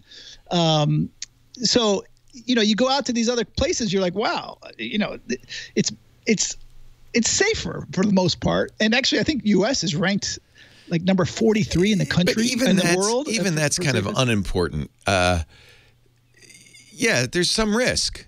That's there's risk going out the door. There's risk in life, uh, but that shouldn't let you stop you from traveling. no. And, You know, the and hard, today, the hardest thing is the language issue, and now technology, and frankly, the fact that most people speak English. That's not the issue it was. In fact, in some ways, I feel like travel is less fun because it's less different than it used to be. The the language barrier isn't so bad. Uh, in Right, some ways, money. it's easier. To, the money, it's so much easier. Remember, you used to have to go to the American Express office, get travelers checks, countersign them all, and then bring them to the to to Europe, and then hope they take American Express and all of that stuff. Now you just go to an ATM machine. They say you need some euros. Yeah, yeah, I need some euros, and you're done. It's easy. My last trip to London, I did not take out money from the ATM. That's Actually, right. I rarely ever take it. money out. Yeah, I just use cards. my iPhone. I just use my iPhone. Oh yeah. That's now, all I do. It is important if you're going to do that to use a credit card that doesn't charge you exorbitant fees for international use, right? Exactly. Make sure you do. Make sure you get a credit card that does not have foreign transaction fees. I always carry multiple ones. You know, I, American Express that isn't always accepted. Although I've been to places where they only accept, accepted that card. Usually Visa, Mastercard, you're good to go. And the big trick, by the way, when you're going to London and other pl- international places, when they when they do scan your uh, credit card or your phone, and they say, "Oh, you're uh, you're American. Would you like to pay in U.S. dollars?" Never pay in U.S. dollars because they're taking a percentage. Always say, "I want to pay in local currency." Right. Right. And that drives me nuts when I'm traveling internationally and they try and scam me like that. It's so much fun to have the local currency. They're all different colors and have pretty pictures on them. the French money has naked women on it. It's so much fun. now, when they can come up with a way, okay, I can go to the Louvre virtually, but when they can come up with a way for me to have Berthillon ice cream from Ile Saint Louis in Paris virtually, then maybe I'll consider not traveling. Until then, I can't wait to get back. I just can't wait. I know it's going to be a while, but we're going to hang in there. We're it's going to be a while, and I and, and I do think cash is going to go away. I think most people are going to use Yeah. credit cards. This will this will hasten that, won't it? with- for sure. I mean, I've already was doing it way before that, Yeah. and I think others are too. You know, it is a little sad, a little bittersweet for me because it, it was 12 days from today that we were going to get on an airplane and fly to Budapest and then get on a riverboat and go to Munich. And we were going to see the Oberammergau uh, festival uh, in Germany uh, right about this time. And so it's a little sad, a little bittersweet. But for sure. I was supposed to be calling in from uh, New Orleans right now for a travel conference and then flying to Toronto. Yeah, that's all right. We're gonna get on the road again, everybody, and uh, it's gonna be fun. I'm, you know, I, I, I look forward to getting on a cruise ship again. I like cruise ships, and I hope that. Well, that- Carnival announced this week that they're going to. I'm not getting on it this 1st. year. they, they announced August 1st, which I do not think is going to happen. That's nuts. The CDC is going to put a hammer on it, but yeah. I well, it's not offering, even that. Twenty-eight dollar a night cabins. I know you can open it up, but you're going to see a lot of people say, "Well, yeah, nice, but I'm not going." Even at 20 bucks a night, is it? I mean, that's. It's There's too, still people signing up for it. Are they? Remar- yeah. Remarkable. Hey, if I, would knew I were if I knew I were immune, I might too. But who knows, right? You don't. JohnnyJet.com. That's his website. He's at JohnnyJet on the Twitter. He's on Instagram too, and uh, he's definitely the guy to follow if you love travel And YouTube. and YouTube. oh, he's got a great 39 questions segment. I love it. I'm on it. Leo Laporte, the tech guy.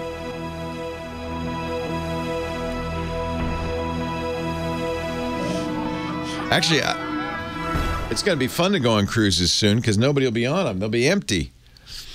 I don't think so. Although Shanghai, actually, we could have brought up Shanghai Disney. They announced that they're opening on May 10th, I think, and only at thir- they sold out in three minutes, but they're only doing 30% of the capacity, which would be, you know, much better experience. The and outdoors is not as bad. The prudent thing to do, and it's what I intend to do, is just watch as these places reopen and see if you get clusters and of infection. And uh, and you know, you don't have to be the first one on the boat or at Disney. Right. Wait a little bit, watch, see what happens, and if everything's good, eh, maybe you can go. Yeah. I mean, my problem with the cruise is that it's not about getting sick, although that is what uh, uh, at the top, one of the tops, but the top is not being able to find a dock or someone to let you off. Yes, that's right. So That's that. That's why the first cruise I'm going on is a river cruise. that's right. then I could just swim ashore. for sure. So you, you got a second for me to ask you a quick question? or oh, should I I bring it thought- up next yeah, week? but that wasn't the question. Whether I was negative. Okay, what's the question? Yes. Ha. Um, how about for podcasting? You know, these 39 travel questions I do, Zoom sends me a file, an audio file. And Sure. I was like, you know what? Why don't I just upload it to a, a podcast? Which one do you recommend? Use Anchor.fm. You can upload it to Anchor FM. You can add music if you want or not. And they turn it into a podcast to put it on iTunes and everywhere else. It makes it very, very easy. They store it for free. There's no cost. It's kind of the the YouTube of uh, pod, of audio podcasts. Okay. And you rec, I mean, I heard of them, but you recommend them. Absolutely. Yeah, I've Okay. used them. Yeah, Okay. That's, yeah. that's They're owned by Spotify now. They'll be around for a while. okay. That's good to know. Yeah. Well, I'm glad you're doing well. Uh, there's some dispute over whether my negative test even means that I'm negative, but even if even if I'd got, which of course, you know, uh, that changes nothing. If I'd gotten positive, then we'd have to have a conversation about what the hell that means. Right. Yeah. I would do one more to see, you know, but Yeah, but then what know, am I going to do? well, they even say five to 15% of people in China have gotten it again. So, Yeah. Right. and I- Seoul just came out yesterday saying that, you know, they, they're going to shut down bars again because um, they're starting to get more Yeah. cases because they open up the bars. See, that's why I'm going to watch with interest to see what happens with this slow reopening. And we'll know what we can do. We'll know how far we can go. It's all still a little bit of a mystery. We don't we don't know everything we need to know yet. And next week, by the way, we could have talked about like states that are not allowed. Like Maine does not want any outsiders. If they, you do come, you have to stay quarantined for two weeks. And so, I mean, countries are like that, and their states beginning to be like that. Right. Besides, I mean, Hawaii for sure. Hawaii is the most vigilant. Yeah, I wish I could go to Hawaii, but they won't let me in. Actually, you know, I got I realized the last time I was in Hawaii, we went to uh, Kauai. It's too remote. It's beautiful and I love it, but you're kind of in the middle of nowhere. It's too remote. I need to be I need to be I need to be in nature, but I need to be able to get in a car and get somewhere. I'm with you. I'm the same way. I'm, Yeah. I'm more of a city guy. Yeah, I like the city. I don't want to live in a city anymore. I need to live near a city. Exactly. So that way, if there's an emergency or you need supplies, you can just. Yeah. Yeah. Plus, you can get deliveries. Yes.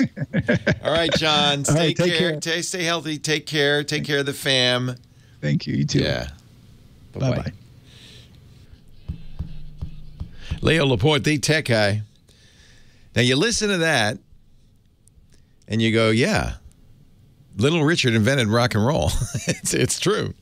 You can hear his influence everywhere. Leo Laporte, the tech guy, 8888 Ask Leo, line three, Linda, Los Angeles. Hello, Linda. Hi, Leo. Hey, Linda. Boy, it's so nice to talk to you. I've listened to you for forever. Oh, thank you. It's welcome. Fan for a long, long time. Oh, First time I've called though, so this is really wonderful. first time. That's what you. You're a first time, call, long time listener, first time caller, as they say. That's right. I Yeah. am. Well, good. And you have, but you have helped me so much through the years. I have, I have really been led to different places f- w- from you, and so um, you've never led me astray. Well, let me lead you astray now. That no, no, that's wrong.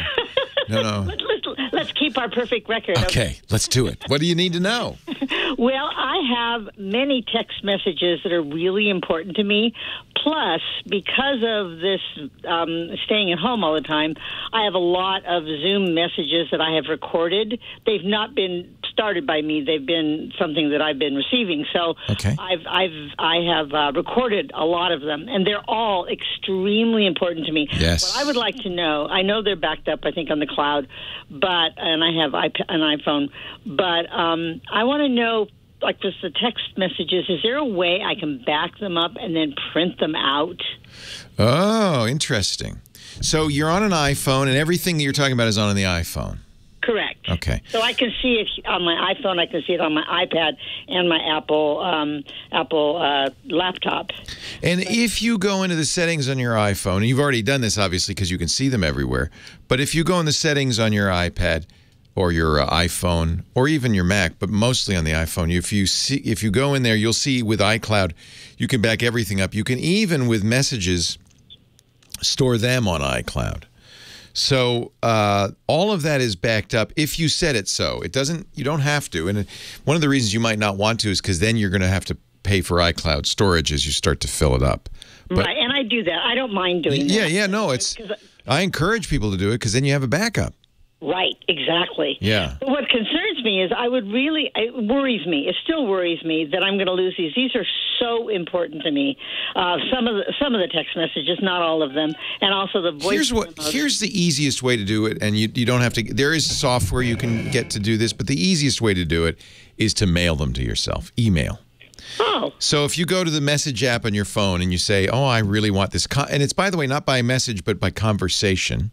Okay, good. You tap and hold the message, and uh, you can copy it, and copy it to the clipboard, and then go and you can do that if you select all the messages in the conversation or just one message. So you can copy whatever part you want. Then you go to the mail app in iOS. You open up a mail message, and you paste it. Oh, good. You've done two things by doing this. One, you're backing it up because you're mailing it to yourself. Right. Two, you can then print the message. Oh, that's great. from your email. So that's the easiest because that you don't need to get any extra software. There are programs. Uh, Ecamm makes a program uh, that will do this. There are a lot of companies that make uh, programs that will take data off of your iPhone and let you print it and stuff. But they're more complicated. And this, if you're if you're content to do that, I think I you're would be. fine. Yeah. And then if you go into somebody telling me, and this may be the case, you know, if you if you do turn on this save messages in the cloud and your messages are showing up on your Mac, your old messages as well as any new messages, then somebody said you can actually print directly from uh, messages on the Mac. I have not tried that, but if that's the case, that would be even easier. Great. I will check that. Check out. if there's a print option. Yeah. That is fabulous. And then what about voice memos? Doing an extra backup for them, um, just so I don't I don't miss them. I don't Yeah. lose them by. That's a, and I get this question a lot because, uh, and this is challenging because um, your voice messages, there's no really uh, easy way to back those up. So you, this one, you do need a third-party program, and the one I recommend comes from a company called Ecamm. It's called PhoneView. Now, if you're going to go out and get this, and it's I don't think it's very expensive. It's maybe uh, yeah, it's thirty dollars. If you're going to go out and get this, you can then use PhoneView on your Mac to print out the messages to save them, but you can also uh, get your voicemails and save them onto your Mac. Um, so this really is a way of uh, treating your iPhone more like a storage device than a than an iPhone. So Okay. anything that's on your iPhone becomes your you know becomes like a file on your Macintosh. Oh, that's great. Because Yeah. I'm just so worried about. Um, I, I I always back everything up. I have uh, on you know online backup and all of that. Oh, I, you I'm have been terrified about all listening. You have been. Thank you, Linda. I appreciate that. Yeah. Well, I listen. Yes, I think you're. I think you took you took a good. Uh, you learned a lot. That's good. I did. I, I've learned a lot. I really have. So you're gonna like. I think Ecamm for people who want to extract data from their iPhone, like voicemail. It's. I, there are a few other ways to do it, but they all involve third-party software. Apple does not give you a way to do that. Ecamm is the easiest, the best. E C A M M dot com, and the program is called PhoneView, Yeah, I got that down. and it's for Macs. Excellent. Yeah. That's great. Oh, and and the, and the, the chat room has checked, and Mac OS messages does have a simple print message. So that's forget the email thing. You can just print it Oh. right from uh, messages on the Mac, as long as you're syncing, and that's the key. Yeah. Yeah, I will make sure that I'm thinking. I'm Yeah. pretty sure I am, but Yeah. I will go and check and, and make sure that I am. Oh, this is great. Thank you, Leo. Thank you, Linda. My pleasure. I really appreciate it. Nice to talk to you. Don't be a stranger now. I, I definitely will not be. First time's a little scary, right? But then once you do it, it's like, I'm sitting here thinking, drinking water, and I'm thinking, oh God, don't let my voice go away. no, no, no. You see, it's easy. It's just, uh, it's just us friends. We're just, Yeah, just two you, people thank you. talking. I tried to think of it just talking to yeah. you. Just Nobody. you. Well, I wish more people listened, but frankly, it is just us. Yeah, it is. Have a great day, Linda. Stay healthy. you too. Thank you. My pleasure. Take care. Uh, Kathy on the line from Southern California. Hello, Kathy. Leo Laporte, the tech guy. Uh oh. Did I push all buttons correctly? Hi. There. Oh, there. Oh, why? Hi, Kathy. Hi. Thanks for taking my call. My Long pleasure. time listener, first time caller. Oh, nice. Two in a row. Thank you. I have um I think a rather dumb question. I probably should know the answer to this, but you're the you're the No, tech- no. you're- Please. People say, oh, it's a dumb question. That's the best kind because then I can sound smart. Oh, you're so nice. Well, I have a niece. She's newly graduating um, from college. Yay. She got a part-time job, but she's Yay. a contractor. Yeah, on the road. I loaned her, gave her my Dell um, 18-inch laptop. You're so sweet. Um, but she she needs internet access remotely. Right. She doesn't want to tether her phone. Um, but I'm trying to figure out. No, she has to. That's not going to No, no, she has to tether the phone. Oh, So okay. the the other thing you could do is buy something that will be a remote hotspot for her. But as she's driving around, unless some there are machines, some machines that have built-in LTE, you know, cellular access. That Dell is not one of them, I don't think. But if but No, check, yeah. Okay. Then otherwise you can buy her. Sometimes they call them a MiFi, and it just go to any carrier. You can do it online and say, "I need a, a Wi-Fi access point that gets cell data." Now Oh. you, you you'll be Aunt Kathy You'll be paying for this unless you get her to pay for it, but that will give her data anywhere she goes, and it's just like doing a hotspot with her phone, except it's not a phone; it's just a little credit card sized device. I love it. Oh, see, you are the man with all the answers. You see? You, so you, see? Hey, congratulations to all the 2020 grads. Absolutely. Oh, man. Thank you, Leo. Thank you, Kathy.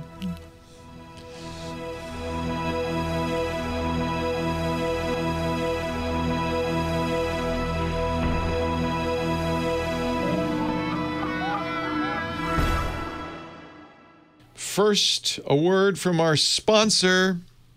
And I know you know these guys. SimpliSafe. Everybody, everybody, stay safe. Now, I know you say, well, hey, I don't have to have a SimpliSafe anymore because I'm home all the time. That actually, if you think about it, is an even better reason to have home security. You're home all the time. You don't want somebody going, I'm going to break in anyway. SimpliSafe. We all need a little psychological kind of security blanket. And that's what SimpliSafe is for me. Feeling safe at home is more important than ever. SimpliSafe Home Security, I've been recommending them for years. The story is great. It was a, it was a young couple, uh, Harvard educated, MIT educated engineers. They were renters. They said, I don't like this idea of having a alarm company come in, install sensors, screw them into the wall. We don't even own this place. Then we have to pay $45 a month for monitoring. We're going to make a better way. And they did. And they were actually, over the years, SimpliSafe has become the best way, the most popular way to protect your home. Started out great for renters because you don't need an installer. You just peel and stick, and they have all the sensors you can want. Nobody's got to come in your house, no contact. They'll ship it to you. You install it yourself, and they have motion detectors, glass break sensors, window and door open sensors. They have water leak sensors. They have everything carbon monoxide, cameras. It all goes to, to this home unit, this base station, which is indestructible and the best 24 7 monitoring with no contract, no fees at a third the cost of the other guys. Just 50 cents a day. You'll be able to set yourself up in an hour and you're protected 24 7 with emergency dispatch for break ins, for fire, for anything, water leaks, whatever you need. And police respond faster to SimpliSafe because they can verify that there is an actual break in happening. They don't, you know, they know we're not getting false alarms from SimpliSafe. U.S. News and World Report said SimpliSafe is simply the best overall home security for 2020. Right now, if you go to simplisafe.com slash twit, you'll get free shipping and a 60-day risk-free trial. I think I'm thinking you want to be safe at home. You want to feel safe at home. You're sleeping at night. You want a good alarm system. You don't want somebody coming in the garage or the back door. You want that feeling of security, but you don't want a guy coming and installing it. Not these days. You want SimpliSafe. Put it up yourself in an hour, get exactly what you need, pay less, and get great 24 7 professional monitoring for much less money with no contract. It's a 60 day risk free trial. Go to simplisafe.com slash twit. Simplisafe.com slash twit. Oh, please use that one so they know you heard it here. From SimpliSafe and, and, of course, all of us here, stay safe, stay healthy simplisafe.com slash twit. Thank you, SimpliSafe, for keeping us safe and just kind of giving us some peace of mind. It's important. Well, hey, hey, hey, how are you today? Leo Laporte, the tech guy. 8888 Ask Leo, the phone number. If you have a question, comment, a suggestion, you want to talk high tech, that's what I'm here for. It's just kind of a little get together we do uh, every weekend at this time, just kind of you know, people interested in technology, talking about technology. Doesn't have to be all problem solving, although, as you can see, I kind of like doing that. And by the way, I know I can't answer every question, but uh, we've got a pretty good team of people. All this, all these people listening on our 200 stations all over the country, they have good answers. They can call in. We also have a great chat room, irc.twit.tv. That's where Team Tech Guy lives. Those are some pretty, pretty advanced nerds sitting in there waiting for. waiting for your question. Uh, 8888 Ask Leo. And of course, the website is a great place to go to not only ask, but to answer questions. Uh, it's free, it's open to all. TechGuyLabs.com. There's no sign up. Our show, uh, our shows are there. Every show we've done, this is 1,600 something. We're almost to 1,700 shows the audio and videos there from previous shows, but also the uh, there's text of the answers to the questions, the questions and their answers. But you can also go into that part and say, I have a better answer, or I have another idea, or what about this? And I really appreciate if you do that. I don't take I don't take it as an insult by any means. Because there's always many ways to answer any given question, and I know I don't have the right answer all the time. So that's fine. Correct me. But uh, do it on the website, tech, or on the phone too is okay. TechGuyLabs.com. No sign up, it's free. Chris in Burbank is next. Hi, Chris. Leo Laporte, the tech guy. Hi, Leo. How you doing? I'm well. How are you? Good. So I have an issue. I have a. Uh, I live in a condominium that's built in the '60s, uh, so you can kind of hear every single thing that the neighbors do. Um, Oh, yeah, yeah. That doesn't sound like fun at all. no, no, it's not. So I have a problem. I, you know, I like tech. So I have a 65-inch Samsung HD 4K, um, Ultra HD 4K. okay. But the sound obviously is the standard sound. So Oh, I'm yeah. what kind of a sound bar can I get? Do you want to drive the neighbors nuts or not? Uh, not drive the neighbors nuts, but I also want to be able to enjoy my TV. Yeah, this is the challenge in an apartment. Uh, you know, I like big TV sound, and uh, I've always, uh, you know, I've added speakers, particularly subwoofers. The low frequency stuff really drives the neighbors crazy. I bet you'll hear them when if they play music, what you mostly hear is boom, boom, boom Yeah, coming through the walls. Because the high frequency sound tends to be stopped by the walls, but the lowest frequencies go right through them, and it's so annoying. So uh, you, I'd be careful about getting a subwoofer. There are sound bars that have subwoofers. This certainly enhances the sound. And when you get your own home, uh, I would get two subwoofers and say, "Take that, world! I like it." But until then, um, sound bars are a great way to give yourself a, a richer, more um, uh, enjoyable sound, but also more intelligible sound at a fairly low cost. And you can, yeah, if you don't get a subwoofer and you and you get a, a sound bar that's aiming into your apartment, not not across the wall, you could probably do a do it without bothering the neighbors too very much. So is there a particular if if it's, if it's cost isn't a huge issue, but I imagine if you're just talking about a sound bar, they're not. Oh, they're that- they. You can get them for fifty bucks. You can get them for five thousand dollars. It really depends. Yeah. So I'm not going to recommend. No, I wouldn't do that to you. Scott Wilkinson last week talked. Or maybe it wasn't Scott. Somebody last week talked about Sonos has a new, I think, eight hundred dollars sound bar, and the Sonos sound bars are quite good. But uh, I think that price is a little uh, out of control. Last week, Scott did mention a soundbar he liked a lot. Now I'm going to have to remember it. You you put me on the spot here. does anybody does anybody remember the soundbar that uh, Scott was talking about? I wish I could remember. Let me see if he I know you reviewed it. heard. I heard you mention something about a Roku soundbar a while back. I didn't know. Yeah. it's in the- Yeah, I would. I I don't know if I would recommend that. Um, In the past, we've recommended sound bars from a lot of different companies. Vizio, I think, is probably the one I would recommend. Uh, but he just he just was talking. Was it was it the Vizio? I don't think so. Klipsch has a good sound bar for about three hundred dollars. Vizio is about half that. Uh, and and it, if you want, Vizio even has one that's a little more expensive that does Atmos. I'm not sure. Are the neighbors above you too? There's neighbors above me. I'm not super worried about him. The the mostly would be the. Uh, wait, actually, it's not the. See, the the TV itself is not on an adjoining wall, but the couch that I sit on is, and so it's the neighbors. It would be basically. You know, On the other side of that, yeah. Yeah. Um, he did talk last week about the Sennheiser Ambeo, but that's two thousand five hundred dollars. So we're not gonna we're not gonna we're not gonna go there. In the TV. no, I would I would look at the Vizio V I Z I O sound bars. They have a range of prices. Uh, the of course, the more you spend, the better the sound will be. Uh, particularly in terms of sub, the low frequencies. So uh, generally, you, know, if you want a low frequency, you're going to have to have a big speaker to move that much air. That's why they tend to put them in subwoofers, which are standalone boxes with big one big cone in them. So you're not going to put Yeah. that in a sound bar. So you're not going to get a lot of bass, but you can get a little bit better bass. The more expensive Vizios also have, and this is why I asked about your neighbors upstairs, upward firing speakers to give you Atmos sound. So they bounce the sound off the ceiling. I think that's I think that's kind of silly. I wouldn't spend a lot of money.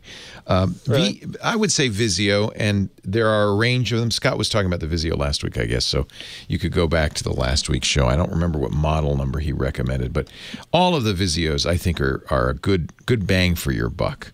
Are worth it? Yeah, absolutely. Probably don't. I wouldn't go for um, one with um, a subwoofer, just yeah, just yeah, for yeah. the neighbors. The neighbor below me definitely is, is probably my biggest concern. Is the one that complains the most would be the one below me. Yeah, then you definitely don't want that. But uh, but for one hundred seventy nine dollars, they have a thirty six inch uh, soundbar. You don't need a subwoofer.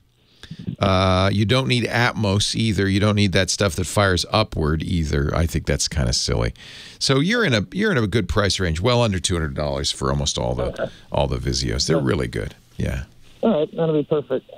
And they, you know, I see a Vizio with built-in dual subwoofers. I can't imagine they'd give you much bass. Okay. But if you, yeah, it's too bad we can't go listen to them these days. Yeah, exactly. Yeah. I'm, I'm in. I'm locked in, so it's like I guess I don't have much of a choice. Well, and this is, but this is a good time to upgrade your uh, TV sound, right? You, Yeah. sh- you should enjoy it as best you can. Honestly, especially if you're in an apartment and you have neighbors, I think the best way to go is with headphones because you can crank it and really Mm-hmm. enjoy it. And headphones are going to be less expensive. Problem is, you you know, you need a wire between you and the TV. That may not be the best way to go either. But it's certainly the case that any sound bar will be much better than the built-in TV sound. So go with the Vizio. like 30, and then it's about the same the entire time. Yeah, no, it's terrible. It also solves a problem Scott was talking about last week with centered channel sound where you can't hear the voices very well. Uh, Vizio makes a 36 inch sound bar that has uh, dual subwoofers, which aren't going to be too deep, but at least give you an appearance of bass.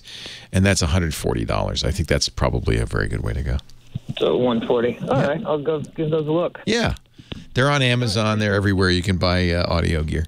Hey, thanks for the call. Enjoy your sound. And you know, the nice thing is if you get something like this and the neighbors are annoying you, now you have weapons.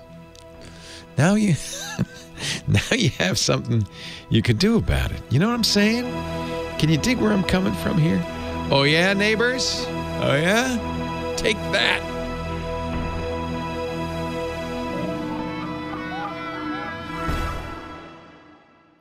Boom, boom, akalaka boom, boom, boom. Leo Laporte, akalaka boom. The tech guy, 88, 88, ask Leo. Uh, thank you, Lady Laura, our musical director, perking up the perking up the place here with her musical selections. Paul in Columbus, Ohio. Hello, Paul. Akalaka boom. Akalaka boom. Not first time, but it's been a while. Um, couple things actually. I, I talked about the speakers situation. Um, when I moved, we moved to a new house here about four years ago, a little over, and I had a couple JBL speakers then, and shortly thereafter bought the uh, Pioneer Andrew jo- Jones speakers. Those are the ones, yeah, yeah. Yeah, so I got I got those and, and a subwoofer.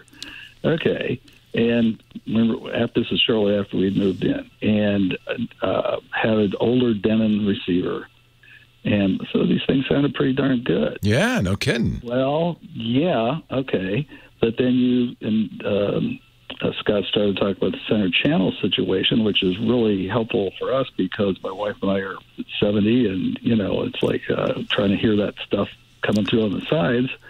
So I got a small sound, a small speaker that I had was not fantastic, but it's decent As a center channel, yeah. as a yeah. center channel. Put the, put that sucker on there. The other thing I did though was I forgot that I had never ran the Audyssey. Oh. with the, with the new speaker. Right. This is a feature that some receivers have where they have a microphone and you put the microphone where you would be seated and they run through a bunch of funny sounds, boom, boom, and they test the speakers and then adjust them for your room. It's a really good idea. Exactly. Well, this is like I said, this is a several-year-old Denon, and it had that feature. And I said, you know, well, what the heck? We'll rebalance it because I never had balanced it with the with the subwoofer. And Yes. it's a it was a difference between night and day. Oh, yeah. It is. I cannot believe the difference. I mean, they sounded good to begin with before, but that just No, it's a very good tip. Every room has different characteristics, acoustics. When you add speakers, you're really changing the setup. And so, uh, if you're if you're lucky enough to have a receiver that has it, Audyssey is one brand, A U D E S S E Y. Uh, this one I have on my uh, Denon as well. But there are others. Other some systems have their own. But if your system came with a microphone, you bet change the room, change the even if you change a chair, you should you should run the Audyssey again. Yeah. Almost tossed that microphone away a couple of years ago. Yeah, it's good you kept it. Yeah. it's the one with a really long wire. yeah, yeah. I put it on a tripod and it worked perfectly. It is a very, very good idea to do that. That center channel just makes a heck of a big difference for understanding stuff in movies and And I wouldn't blame your age or you know aging ears, even though I, like you, have the same issue. And certainly it becomes exacerbated with age, just like reading a menu in a. Those restaurants seem darker all the time, but but it also I think is the and, and maybe even more uh, uh, the cause of it is that more and more of what you're listening to is mixed for a center channel. As more home systems have 5.1 sound, um, they're just assuming, oh, he's going to have a center channel. and We're going to put the the dialogue in the center channel, and if you don't have it, it's muddled in with everything else. So I don't think it's completely us. I think it's also the way stuff is mixed these days. Well, what I told Kim I was calling about was, and I, I a couple of confessions here. I guess I'm missing things. I am visually impaired, so I might have missed something in the software. But I've I'm, I've got iDrive and, and like it a lot. It, I've got it on my iPhone and, and the uh, computer. I'm, I'm running Windows 10 on. But are we or are we not supposed to be able to access cross like I could should be able to access files off my phone on the computer and vice versa? Oh, that's a good question. I, I that's a really good question. It would, you know, on a normal the way normal backups work. Uh, there's one big repository where everything is, and you can look at them. I don't think iDrive works that way. I think it's per device, but I do, but you know, I've never tried it the other way, so I don't know. Well, the reason I wondered or thought it might be is because uh, Carbonite, which I've used and will be dropping here in July when my subscription is up, because it's just gotten to be a little strange. Yeah, they've moved away from You consumers. They really want to support business Well, now. Yeah. That one, I can access. I can access. Yeah. Uh, computer. But but if you remember, your Carbonite account was per computer.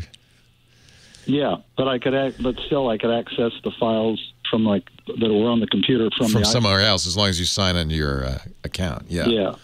You know, you got me on this one. I, I am not an iDrive expert. I've u- I use it uh, kind of just generically. yeah. and I never even thought of trying to see if I could see the files on another device. Um, I think not, and I think that's because that's that concept is more cloud storage. The idea that you've got uh, one repository for everything, and I think they're really focusing on per device backup and restore. Yeah, which that makes sense, and that's perfectly fine as long as I'm not expecting it. I won't worry. Yeah, uh, and I'll and I'll I'll inquire, but my my guess is not, and and for that you want something you know a cloud storage system, and I do that as in addition to iDrive. That's probably why I never tried it. Uh, I you know there's Dropbox and uh, there's you can do roll your own stuff. I use a, another service I, that shall remain nameless because I don't want anybody to Yeah. know I'm on it. Yeah. Uh, but the, only because I don't want people attacking my account trying to get my stuff. But uh, but uh, well, I'll say the name pcloud.com. I really like that, I- and there's some features of that, including encrypted files. But the whole idea there is. I have a documents folder there that all my systems share, including my phones and everything, and uh, they all back up to, they all sync to. It's not, and the reason I think this is why iDrive doesn't do that, there is the risk that a phone could change a file, and then it, that's true, and then it could be changed everywhere, and you don't want that. Yeah. So I bet you that that's one of the reasons they they would not do that. You the, the and I that's something a risk I live with with pCloud is my documents I want my documents folder to be identical everywhere, right? Yeah. And so as a result, um, I back up and sync on every machine to that documents folder. So if I change something on one machine, it's changed everywhere. That may not be the behavior you want for backup. That's a different kind of behavior. Okay, something else real quick. Uh, you were talking about uh, voter stuff the uh, last couple of weeks. If we can have software on our phones and go to automatic uh, teller machines and transfer money as as much as people do and as much as banks uh, tr- transfer stuff, how can we not come up with a voter system that would be s- safe and uh, and usable? Yeah. Yeah, although there have been mistakes made with bank accounts and ATMs. Oh, sure. Oh, and they stand No, behind it. I mean, if it's a small percentage, we could probably tolerate the same kind of things. I think the main reason, the main concern, and again, this is something we've talked about before, and I've heard from a lot of security experts who say, heaven forfend online voting. The main concern is this lack of a paper trail. Um, it seems like it would be solvable, doesn't it? Leo Laporte, the tech guy. Yeah. Ironic iDrive is down right now. I'm sure they'll get it.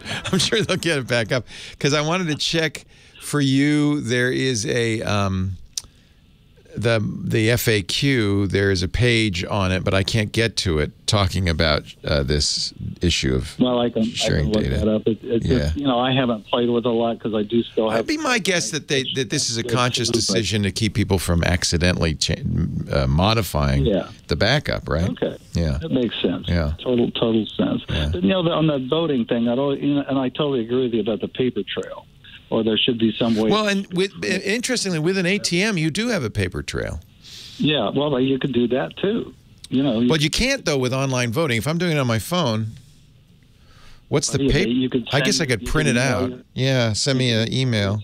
or or something. It's just. Um, it, I, it just like I say, I, I, you know they, that there are mistakes and like you say losses on on bank transactions and stuff too, but uh, it can't be too big or they they wouldn't continue to do it. Right. Yeah, no, that's a yeah, no, I agree. And and you know, even if there were a small percentage of error in voting, there's so many people using it. I don't. That's a really uh, good question. There, if you're really con- concerned, there are a lot of great resources on uh, online voting or just voting security. Um, the one we I've done a number of interviews with uh, with these guys. It's really a fascinating uh, topic, and there's some very serious. Um, computer scientists and crypto guys working on this whole idea. What was the name of the uh, site? There was a site. Um, if I could remember the name, that it was a, uh nonpartisan uh, site, up, not and not specifically about election uh, interference and things like that, but just on the technology of voting. That was quite good, and I just don't remember off the top of my head. If I can find it, I'll put it in the show notes for you. Great. Um, yeah, the machines that we use at, at, at polling places are horrible. I mean, Well, that's the problem. Right now, we have, we, yeah, we're the worst of both worlds. and I think if your goal is to get uh, as many people to vote as possible, making it easy to do on a phone, especially to get these young people who really don't vote, get them to vote, uh, would be really a worthwhile project. So, exactly. Um, Well, I- I, it's worth I was looking at. out. I was out in San Rafael uh, last June, and I was hoping to get up to see it. Oh, I'm sorry you didn't. But I was Yeah. uh, I was getting a new guide dog, and it just got got. Uh, Oh yeah, that's we get visitors who go get their guide, guide dogs in San Rafael and then come here with them. And I love that. I love to meet the dogs and the and their owners. It's really fun. Yeah. It's amazing. Next time. Yeah, you happy? Oh, that's nice. Uh, oh yeah, she's my third, and from there, and it, it's they're they're wonderful. Oh, they, they do Uh, such a great job. It's so neat. They're unfortunately not able to train anybody right now because of all this. So they got people backed up. But uh, You forget, you know, it's so easy to forget all of the little things that no longer work. yeah, yeah. It, it, you know, because we're all in our little bubbles now, even more than ever. Um, yep. It's really an interesting uh, time we're in. I hope we can get out of it and have great stories to tell our grandkids. and meanwhile, back to the cruise ships. Hey, it's great to talk to you. Love it. See you next time you're out here. Thanks, Paul. All right. Take Have care. good one. Bye bye. Oh man, Lady Laura, you're playing the best stuff, and I have to apologize because I was digging walking the dinosaur with was not was, and I didn't even know at the time that Sweet Pea, Hillard Sweet Pea Atkinson, the vocalist of Was Not Was, the guy singing "Boom Jackalaka Laka Boom," had passed away this week as well at the age of 74. So we're mourning two greats, Little Richard and uh, Sweet Pea Atkinson. Is this is this singer dead? Anything you want to tell me? Okay, good. All right, just checking. Just checking. I don't know, but uh, just checking because Lady Laura will she'll sneak those in, you know. She will. uh, there is a site uh, we were talking about uh, online voting, uh, and I don't want to just be a a robot and parrot what I've heard, but I've talked to a lot of security professionals and experts, and universally, they say yes, it's a great idea to make it as easy uh, for people to vote, especially young people who just aren't getting to the polls. And online voting by phone seems like such a great idea, but almost, I've never talked to one security expert who says, but it doesn't, you can't. It's not safe. It's insecure. It's a bad idea. There are there are people trying to figure this out though, and I had mentioned uh, to our Paul, our caller, uh, last that I would uh, find a site for him. It's a site about voting and voting technology called VerifiedVoting.org verifiedvoting.org, and they have a lot of resources online there about the voting equipment we use. And of course, that's county by county, state by state. There's no national system, even for national elections. Uh, and information, though, about internet voting. They have uh, an entire page on internet voting and some of the proposals, because there are a lot, people are working on this. They want to solve it and I would hope it's solvable. But this fundamental issue, and I'll and I'll quote from verifiedvoting.org, there's no way to guarantee that the security, privacy, and transparency requirements for elections can all be met with any practical technology in the foreseeable future. It's just too easy to remotely attack an online election, to modify or filter ballots in a way that is undetectable and even worse, uncorrectable. Or even just disrupting the election with a DDoS attack and creating havoc. So, as much as I think many of us like the idea, I mean, we do everything else online, right? And as Paul pointed out, we get money from banks online all the time. But uh, it's so important that you know our elections be trustworthy and that they be seen as trustworthy. Very important for the legitimacy of any election that people can say, no, no, we have a system that works and it can't be easily hacked, modified, or disrupted. That's really important. So this is a challenge. Not that we haven't had technology challenges before that we've uh, triumphed over we've overcome. And as I remember, I think the best site for this is verifiedvoting.org if you want to read more. We've had a couple of people now uh, talking about this, so I just wanted to pass that along to you. This is a great site just to find out about the systems we are using, and frankly, many of them are worse. They're terrible. And maybe a chance for us to, to do better on that. Ron in Charlotte, North Carolina is next. Hi, Ron. Hey, Leo. How are you doing? I'm well. How are you? Doing good. Still, still under quarantine. So, as we all are, even when they lift it, which I know that in some states they're doing. Who wants to be the guinea pig? Uh, not me. Not me. Although I need a haircut badly, as as people have observed. Yeah, I, I, was I was I was talking to a buddy of mine and observing you online, and I said, "Yeah, Leo needs a little trim here or oh, there." Shaggy. I'm really tempted. I bet you Flowbee sales are through the roof right now. They are, and I will say that I do have my Twit mask on order. I'm just waiting. Oh, good. Yeah, we thought it was kind of fun. We offer uh, merchandise for a podcast network, twit.tv slash store. And the company that does the merch said, hey, we have masks. So, yeah, I've, I've ordered a bunch of them. I'm going to wear my Twit mask with pride. I think masks might become a fashion statement. There you, yeah, they, right? yeah, I think it will be. so, Thank you. I appreciate it, Ron. The, the, the, reason the call was, and I think I found it while I was uh, waiting, but um, using, I got an Android um, S8 active or whatever, but using, when I take a selfie and the picture comes out, it's mirrored, you know, it's flipped wrong. Oh, it drives me crazy. And I, th- I think I found, I think the chat room gave me a, I found the option. I think I got it. To yeah, it's in the camera settings. You can flip it. Yeah. Yeah. And I, but I was just curious: are there any other recommendations for better camera software other than what comes on? No. if you if you're using the Google now, I don't know uh, what phone do you have. It's um, it's a Samsung. It's a okay. S8 active. So here's the here's the issue. Samsung makes a camera app. That's the one you're using. That's the default. That takes right. advantage of features that they've built into the hardware. Is it the best camera app? Maybe not. It's the best one if you want to take advantages of the features they built into the hardware. But Google's camera, Gcam, can also be downloaded. Sometimes you have to jump through some hoops. So there are other camera apps you can use, including uh, Google's own Gcam software. Now that's not available on the Android store. You'll have to you'll have to kind of do some tricks to get that on there. Or maybe it is. Maybe it is actually. I would check the the yeah Google camera. Check and see. Okay. Uh, Samsung may block that. If so, there are ways to get it on there. The thing is, it's just a generic camera. It doesn't understand all the features of your Samsung. So the Samsung camera is going to be able to do more of the things that the Samsung built in. The Gcam software, though, you may be better because it uses Google's, uh, you know, artificial intelligence to improve the picture.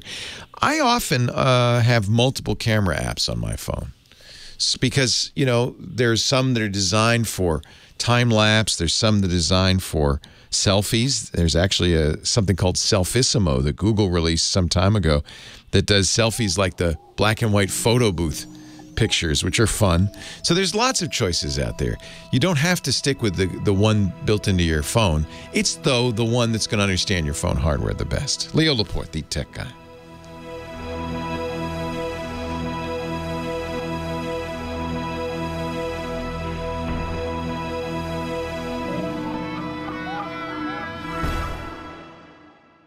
Leo Laporte, the tech guy. Ladies and gentlemen, I give you the man who saved the match game. Shame. Dick, no, no, no shame in that. Dick DeBartolo, he's Mad Magazine's maddest writer. He saved the match game when Mark Goodson and Bill Todman were about to cancel the show. He said, Let me write the questions. And how many years did you do that? Uh, about seven or eight. Man, more than more than forty thousand questions. You invented Dumb Dora. You and oh yeah. you know it was it was name an apple, na- uh, uh, name uh, a green fruit, name a president on money, and it fit your style so well because you work clean, but you there's something you love innuendo. You love plays on words and man you know you would write the jokes richard dawson would just go crazy it was so much fun. I just loved Oh, well, that thank show. Well, it's still running. I can't believe it. yeah on the game show network and stuff. On the Well, Game and Show we had some fun uh, you know we do these uh, our podcast network we're we're all going a little crazy. So we're doing these kind of after hours streams. And uh, we did one last night uh, and Dick very kindly decided to do the not the match game with some of our hosts. it was so much fun. You are great. And you wrote Oh, some you. really fun questions. And Lisa and I are playing along at home and we're yelling our answers. you know, what did he do in the torpedo tube? He did a podcast, you know, things like that. Oh, that's very, that's very funny. It's a very funny modern answer. yeah, well, yeah, but you know, we weren't playing. Next time I'm playing. That's all I have to Oh, say. okay, about okay, it. very good. Yeah, give me a shout. I'll host it again It's uh, anytime. it's it's one of those things where people who grew up watching it. I Christina Warren, who's now at Microsoft, was one of our players last night. This is like her dream. she emailed me and said that was an honor being on that oh. show. Oh, That was so kind of her. well, we were honored too. So Dick joins us. He's also okay. So Match Game Mad Magazine, but maybe better known around here as our Gizmo Wizard, the guy who comes up with the great gadgets. What do you have for Yeah, us? Yeah, Leo, I have a very interesting idea for a lock. Actually, the company calls them security ties. And what this is for is you're out on your bike and you decide, oh, I'm going to run into Starbucks and grab a coffee. And you go, should I chance leaving the bike or should Oh, I get yeah. out the padlock and the Yeah. chain? So this is a real quickie way to lock your bike. It kind of looks like a tie wrap, except it has a flexible steel core so that you can lock the wheel to the frame so that it can't roll away. And this is not for locking your bike up overnight in New York City. This is for leaving your bike for 20 minutes. I thought a great use for this is at the airport where you can see your luggage, you want to go buy a oh, magazine. Oh yeah. You lock your, your suitcase to the bench so that someone can't just run through, get the bag, and run on. They, if they want to do this, they have to stop and get out a pliers or a saw to hack through it. Yeah, you just want a uh, a speed uh, uh, bump. Uh, yeah, exactly. So they make two versions. The one of them is called the uh, Hiplok Z Lok Combo, which has a little combination. The other one, the jury's out on this. This one is lighter weight, uh, much cheaper. It, ha- it has a little key, and the key is like has two little points that unlock the lock. The problem is once you have the key, it unlocks all the zip locks. Oh, there's one key. For, it's like the TSA key. It unlocks Yeah. everything. Oh. It locks them all. So you have to uh, wish you're the only person in your neighborhood who has this one. I like So you- I like having a bike lock with a key though because I I don't want to have to remember a combination. The key just seems like an easier way to do it. Oh, okay. Okay. But this is it's the same key for everybody. I don't know. Maybe. Yeah. It's really again, it's like, you know, do you ever watch a western? Yeah. And they get they, they they ride up, you know, riding into town. They're all dusty. They want to go in the bar, have a shot of uh, red eye. They tie their horse up. All they ever do is just kind of loop it around a Oh, thing. yeah, I think you need a bike lock, dude. You got to lock You your horse, horse up. lock. You A a horse lock. lock. You can't just throw the rope around a wooden beam and expect it. What I mean, did they have a horse thief problem, or did they maybe it was just that's why they treated horse thieves uh, pretty badly? I guess. So we do have a bicycle stealing problem, but I think if you give it just a little bit of a, a disincentive, Yeah, they'll just go to the next bike that's not locked up at all. Yeah, there you go. There you go. And so the the combo one is twenty five dollars, but I saw it on Amazon for twenty. And the little guy that uses the same uh, key for every lock is like twelve bucks. You know, enough so you might have, you know, a couple of them just lying around. Hip Yeah. lock, H I P L O K, Z Loks, L O K S. Now, the easiest way to find this is to go to Dick's site, gizwiz.biz. Biz, and then there's a button there that says, you know, the GizWiz visits the tech guy. And a little kind of strange picture of me. You click that, and everything he's ever mentioned on the show, by the way, is is on this. So it's a it's a really a nice compendium. There's other things at the website though I want to bring your attention to. He first of all, Dick appears on World News Now on ABC. Uh, every month, and so you can see the gadgets he showed there. Uh, there's also the "What the heck is it?" contest. Brand new contest began early May. If you can identify that close-up picture of a lawn sprinkler, you're in. Oh, oh, don't! Did I? Oh, oh no. I gave it away. Right on the first guess.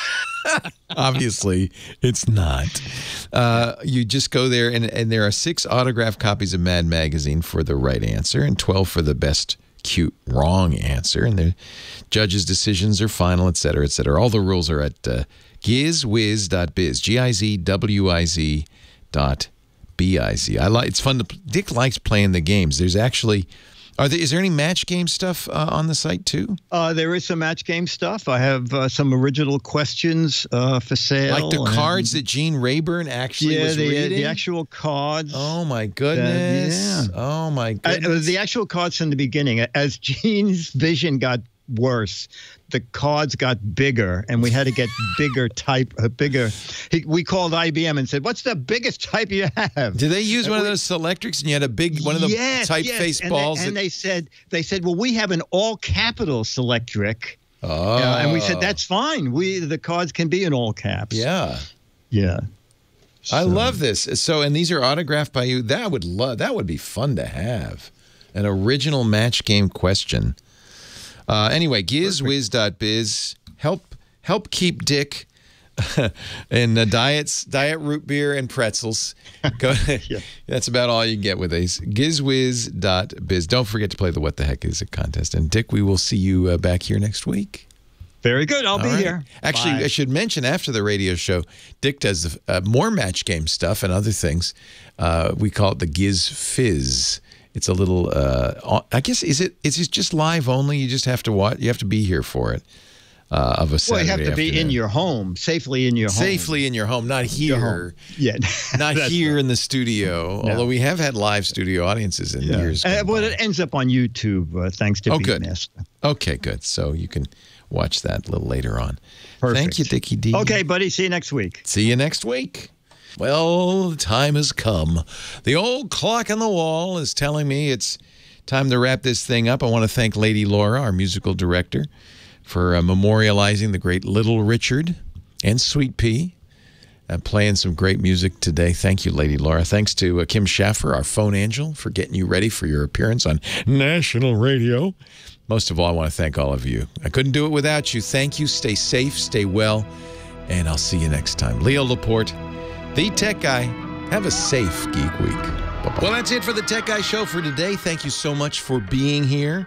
And don't forget, TWIT, T-W-I-T. It stands for This Week in Tech, and you'll find it at twit.tv, including the podcasts for this show. We talk about Windows on Windows Weekly, Macintosh on MacBreak Weekly, iPads, iPhones, Apple Watches on iOS Today, security on Security Now. I mean, I can go on and on and on. And of course, the big show every Sunday afternoon, This Week in Tech. You'll find it all at twit.tv.